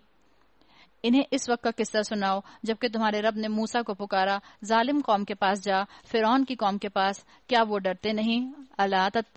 अला यत्तकून, क्या वो डरते नहीं? कौल रबी इन्नी अखाफू युकदिबूनी क्या कहा मूसा सलाम ने? उन्होंने अर्ज़ किया, ए मेरे रब, मुझे खौफ है कि वो मुझे झुटला देंगे। मेरा सीना घुटता है, मेरी जबान नहीं चलती। आप हारून की तरफ़ रिसालत भेजें। और मुझ पर उनके यहाँ एक जुर्म का इल्ज़ाम भी है, इसलिए मैं डरता हूँ कि फिर के पास जाऊँ। हम जानते हैं कि मूसा सलाम के ऊपर एक किप्ती के कत्ल का इल्ज़ाम था। तो मूसा सलाम डर रहे थे कि अगर मैं वापस मिस्र चला गया और कहा मिस्र भी नहीं, डायरेक्ट फिर के महल में चला गया तो वो मुझे बंद कर देंगे। तो उनको डर लग रहा था। अंबिया को भी डर लगा करता था। याद रखें, हमने पहले भी बात की है, डर लगना, ये कोई अनहोनी बात नहीं है। लेकिन डर लगने के बाद इंसान अल्लाह की तवक, अल्लाह पर तवक्कुल करते हुए अपने डर को ओवरकम कर ले, ये एन इंसानियत एन मोमिन होने की निशानी है। और उससे कहो, हमको रब्बुल आलमीन ने इसलिए भेजा है कि तू बनी इसराइल को हमारे साथ जाने दे। आज हमने निकी का मैार ये बना लिया है देखिए, मूसा सलाम का दिल नहीं कर रहा ये नेकी काम करने को। मूसा सलाम को डर भी लग रहा है और अल्लाह से वो कह भी रहे हैं एक तरह से छुपे अल्फाज में कि अल्लाह मुझे नहीं जाना, मुझे डर लग रहा है, मुझे ना भेज। हम आज क्या समझते हैं? हमने नेकी का मैार क्या बना लिया है? हम समझते हैं जो चीज़ दिल को बहुत अच्छी लगे, जिसको करके दिल को बहुत सुकून मिले, वो नेकी का काम है।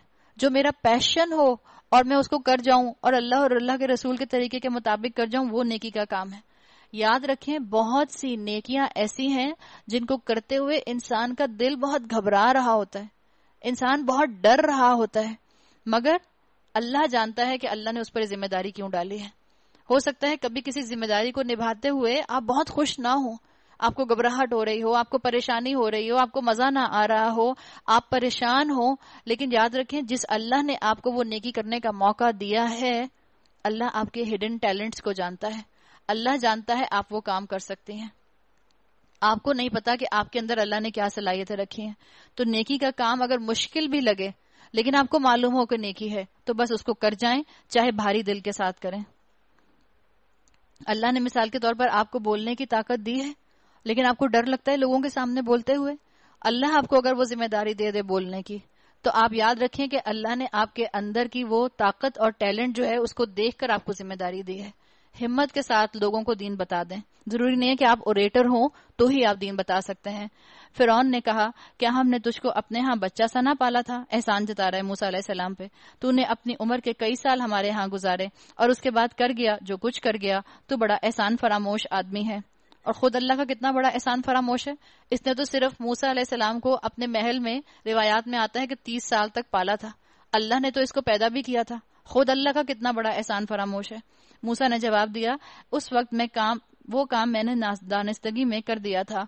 फिर मैं तुम्हारे खौफ से भाग गया। उसके बाद मेरे रब ने मुझको हुक्म अता किया और मुझे रसूलों में शामिल फरमा लिया। रहा तेरा एहसान जो तूने मुझ पर जिताया है, उसकी हकीकत यह है कि तूने बनी इसराइल को गुलाम बना लिया था। फिर ने कहा, और ये रब्बुल आलमीन क्या होता है? कौला फिर वमा रब्बुल आलमीन, ये रब्बुल आलमीन क्या होता है? माँ ज़्यादातर बेचान चीज़ों के लिए आता है और ये बहुत ही रेडिक्यूल करने का अंदाज है। वमा रब्बुल आलमीन, ये रब्बुल आलमीन क्या होता है? मूसा ने जवाब दिया, आसमानों और ज़मीन का रब, और उन सब चीज़ों का रब जो आसमानों और ज़मीन के दरमियान है, अगर तुम यकीन लाने वाले हो फिर ने अपने गिरदोपेश के लोगों से कहा, सुनते हो? मूसा ने कहा, तुम्हारा रब भी और तुम्हारे उन आबाओ अजदाद का रब भी जो गुजर चुके हैं।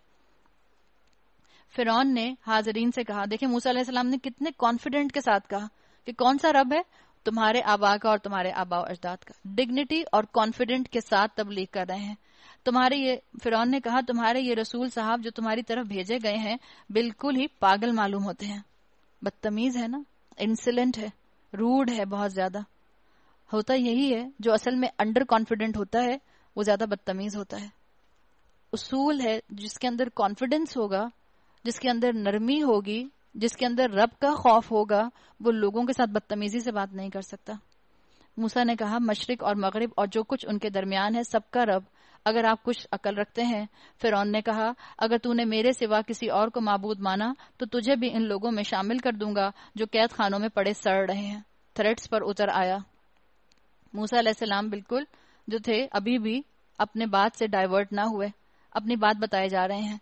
मूसा सलाम का मामला आपको नज़र आएगा, ना तारीफ़ से मुतासर होते हैं, ना तनकीद से मुतासर होते हैं, और मुबल्लिक को ऐसा ही होना चाहिए। मुबर्रा, तनकीद से और तारीफ़ से। मूसा सलाम ने कहा, अगरचे मैं ले आऊँ तेरे सामने एक सरी चीज़ भी। फिर ने कहा फाती भी ही इनकुन तमिन सौदिकीन। अच्छा तो तू ले आ, अगर तू सच्चा है। उसकी ज़ुबान से ये बात निकलते ही मूसा ने अपना असा फेंका, और यकायक वो एक सरी असदहा था। फिर उसने अपना हाथ खींचा और वो देखने वालों के सामने चमक रहा था। फिर अपने गिरदोपेश के सरदारों से बोला, ये शख्स यकीनन एक माहिर जादूगर है। चाहता है अपने जादू के ज़ोर से तुमको तुम्हारे मुल्क से निकाल दे। अब बताओ तुम क्या हुक्म देते हो? डिक्टेटर्स के मिनिस्टर्स जो होते हैं, याद रखें, वो उसकी हाँ में हाँ मिलाने वाले होते हैं। और डिक्टेटर्स के जो मिनिस्टर होते हैं, वो कभी ऐसी बात नहीं करते जो डिक्टेटर को ना पसंद आए। तो कहे तो राय बताओ क्या काम, हुक्म है तुम्हारा? क्या तुम्हारा इरादा है? क्या तुम्हारा पॉइंट ऑफ़ व्यू है? असल में चाह यही रहा है कि मुझे सपोर्ट करो। उन्होंने कहा, इसे और इसके भाई को रोक लीजिए और शहरों में हर कार्य भेज दीजिए कि हर सियाने जादूगर को आपके पास ले आए। चुनाचा एक रोज मुकर्रा वक्त पर जादूगर इकट्ठे कर लिए गए। और लोगों से कहा गया, तुम इज्तमा में चलोगे, शायद कि हम जादूगरों के दीन ही पर रह जाएँ, अगर वो गालिब रहे। जब जादूगर मैदान में आए तो उन्होंने फिर से कहा, हमें इनाम तो मिलेगा, अगर हम गालिब रहे। उसने कहा हाँ और तुम तो उस वक्त मुकर्रबीन में शामिल हो जाओगे, यानी हम तुम्हें कैबिनेट मिनिस्टर बना लेंगे। मिसाल के तौर पर मूसा ने कहा, फेंको जो तुम्हें फेंकना है। मूसा सलाम ने फ़र्स्ट मूवर एडवांटेज दे दिया। जैसे वो टॉस नहीं करते, आप पहले टॉस कर लें। जो करेगा वो जीत जाएगा, जो करेगा वो पहले खेलेगा। तो फ़र्स्ट मूवर एडवांटेज मूसा सलाम ने दिया। उन्होंने फ़ौरन अपनी रस्सियाँ और लाठियाँ फेंक दी और बोले फिर के इकबाल से हम ही गालिब रहेंगे। फिर मूसा ने अपना असा फेंका। तो यकायक वो इनके झूठे करिश्मों को हड़प करता चला जा रहा था। इस पर सारे जादूगर सजदे में बे इख्तियार गिर पड़े। फ़ाउलसहरत साजिदीन। और बोल उठे, मान गए हम रब्बुल आलमीन को। कौन सा रब? रब्बी मूसा व हारून। मूसा और हारून के रब को। तो ज़रूरी नहीं है कि हिदायत जो है वो इंसान को कदम कदम मिले। इंस्टेंट ट्रांसफॉर्मेशन भी हो सकता है। इसका मतलब जैसे हम सुबह बात कर रहे थे कि आप चाहें तो कदम कदम आगे बढ़ने की कोशिश करें। आप में से कुछ लोग होंगे जो कदम कदम आगे बढ़ेंगे। कुछ लोग होंगे जो आगे बढ़कर फ़ौरन मिसाल के तौर पे अगर वन, टू, थ्री, फोर से लेकर लेवल टेन तक आपको और मुझे अमल की अपने लिए क्राइटेरियन बनानी है तो हो सकता है कुछ लोग पहले जंप में ही टेंथ लेवल पर चले जाएँ। यहाँ पर भी आपको इंस्टेंट ट्रांसफॉर्मेशन नज़र आएगी इन जादूगरों के रेफरेंस से। अगर हम अपने मुसलमानों की हिस्ट्री को देखें, बहुत से सहाबा थे जो फ़ौरन ईमान नहीं लाए थे। हज़रत उमर को भी ईमान लाते लाते पाँच से छह साल लग गए थे। आप बहुत से सहाबा को देखें, अबू सुफियान कितने देर में ईमान लाए? इक्रमा, अबू जहल के जो बेटे थे, वो भी कितनी देर में ईमान लाए? एक वक्त था कि अपने वालिद के बराबर खड़े होकर मुसलमानों के खिलाफ जंग में लड़ा करते थे। बहुत से सहाबा थे जिनको देर लगी। तो एक तो ये कि कुछ सहाबा ऐसे थे जो ट्रांसफॉर्मेशन के दौर से गुजरे, उनको वक्त लगा। कुछ ऐसे थे जिन्होंने फ़ौरन कबूल कर लिया। हज़रत अबू बकर सिद्दीक रदी अल्लाह अन, इधर सुना, इधर माना। अफजल बशर वादल अम्बिया जिनको कहा जाता है। ईमान में सबसे बेहतर, सहाबा में सबसे ऊँचे। इसलिए कि इधर सुनते थे, उधर अमल करते थे। फिरौन ने कहा, तुम मूसा की बात मान गए। कबल इसके कि मैं तुम्हें इजाज़त देता। ज़रूर यह तुम्हारा बड़ा है जिसने तुम्हें जादू सिखाया है। अच्छा अभी तुम्हें मालूम हुआ जाता है, मैं तुम्हारे हाथ पाँव मुखालिफ सिमतों से कटवाऊँगा और तुम सबको सूली चढ़ा दूँगा। उन्होंने जवाब दिया, ला दईर, कुछ परवाह नहीं। हम अपने रब की हजूर पहुँच जाएँगे और हमें तो है कि हमारा रब हमारे गुनाह माफ़ कर देगा, क्योंकि सबसे पहले हम ईमान लाए हैं। हमने मूसा को वही भेजी कि रातों रात मेरे बंदों को लेकर निकल जाओ। तुम्हारा पीछा किया जाएगा। इस पर फिर ने फौजें जमा करने के लिए शहरों में नकीब भेजे और कहला भेजा। इन्हा उला शिरजिमत उन कलीलूना। क्या है ये? ये तो कुछ मुट्ठी भर लोग हैं। थोड़े से टेररिस्ट हैं। हम सब फौजें इकट्ठी कर लेंगे। हम सबसे अलायंस कर लेंगे और हम सब मिलकर इनके ऊपर हमला करेंगे और ये तो थोड़े से हम इनको कुचल देंगे। आज की बातें लग रही हैं बिल्कुल। और उन्होंने हमको बहुत नाराज़ किया है। और हम एक ऐसी जमात है जिसका शेवा हर वक्त चौकन्ना रहना है। आप इससे लग रहा है ट्रांसलेशन आ रही है किसी की स्पीच की। आप में से किसी को महसूस हो रहा है? कभी आपने प्रेसिडेंट ओबामा की तकरीर सुनी है? ऐसे लग रहा है उसकी ट्रांसलेशन से हो रही है यहाँ पे। इस तरह हम उन्हें उनके बागों और चश्मों और खजानों और उनकी बेहतरीन कयामगाहों से निकाल लाए। ये तो हुआ उनके साथ और दूसरी तरफ़ बनी इसराइल को हमने उन सब चीज़ों का वारिस बना दिया। व औरत ना बनी इसराइल। अल्लाह ताला ने खुद उनको, बनी इसराइल को उसका वारिस बना दिया। यहाँ पर भी देखें अल्लाह की शान कि अल्लाह जब अपने बंदों को देखता है कि उसके बंदे उसके लिए हिम्मत करके कुर्बानियाँ दे रहे हैं तो उनको तनहा नहीं छोड़ता। अल्लाह ने उनके दुनिया भी दी और अल्लाह ने उन लोगों को जिन्होंने अपने ईमान को संभाला, उनके लिए आखरत का ईमान भी रखा। सुबह होते ही ये लोग इनके ताकुब में चल पड़े। जब दोनों ग्रोहों का आमना सामना हुआ तो मूसा के साथ साथी चीख उठे। हम तो पकड़े गए। मूसा अलैहिस्सलाम ने कहा, हरगिज नहीं। इन नमाइया रबी सयाहदीन। मेरा रब तो मेरे साथ है। वाहिद का कॉन्जुगेशन आ रहा है। माइया मेरे साथ है, कौन? रब भी मेरा रब। दुख होता है कभी कभी अगर आप मूसा सलाम के जिमन में ये चीज़ पढ़ें कि मूसा सलाम को अल्लाह ताला ने अच्छे साथी नहीं दिए। बनी इसराइलियों के साथ मूसा सलाम को अपनायत महसूस नहीं होती थी, इसलिए कि उन्होंने कभी रब के साथ अपनी अपनायत को ज़ाहिर नहीं किया था। इसलिए इन्होंने कहा इन्ना माई रबी सायादीन वो ज़रूर मेरी रहनुमाई फरमाएगा। हमने मूसा को वही के ज़रिए से हुक्म दिया, अपना असा समुन्दर पर मारो यक समुन्दर फट गया, और इसका एक हर टुकड़ा एक अजीमुशान पहाड़ की तरह हो गया। उस जगह हम दूसरे ग्रोह को भी करीब ले आए। मूसा और इन सब लोगों को जो इसके साथ थे, हमने बचा लिया और दूसरों को गर्क कर दिया। बता दिया कि हाई टाइड, लो टाइड का कोई मामला नहीं था। ये मोजा था कि पहाड़ की तरह समुन्दर का पानी जो था, वो दो हिस्सों में तकसीम हो गया था। इन नफिजाल का आया। इस वाक़े में एक निशानी है, मगर इन लोगों में से अक्सर मानने वाले नहीं हैं। और हकीकत क्या है? बता दिया गया, व इन्ना रब्बा का लाहू वल अज़ीज़ रहीम। यकीनन, हकीकत यह है कि तेरा रब ज़बरदस्त भी है और रहीम भी है। अल्लाह ताला मुझे और आपको अम्बिया के किस्से से बेहतरीन इबरत हासिल करके अपने अमल का सामान इकट्ठा करने वालों में शामिल फरमाए। अल्लाह ताला हमने जो आपके अहकाम पढ़े हैं उन अहकाम को हमारे दिल के अंदर उतार दे। अल्लाह जो इस किताब का हक है, उस किताब के हक को हमारे अमल में ढाल दे। अल्लाह हम औरतों को हिम्मत दे कि हम अपने ससुरालों को बेहतरीन तरीके से निभा सकें। अल्लाह हम औरतों को हिम्मत दे कि हम अपनी औलादों की बेहतरीन तरीके से तरबियत कर सकें। और अल्लाह आपने जो शरीयत औरतों के लिए दी है, हमारे दिल को उस शरीयत के लिए खोल दीजिए। हमारे दिल से शकूक और शुभात को निकाल दीजिए। और हमें हक बताने वालों में और हक पर अमल करने वालों में शामिल फरमाइए।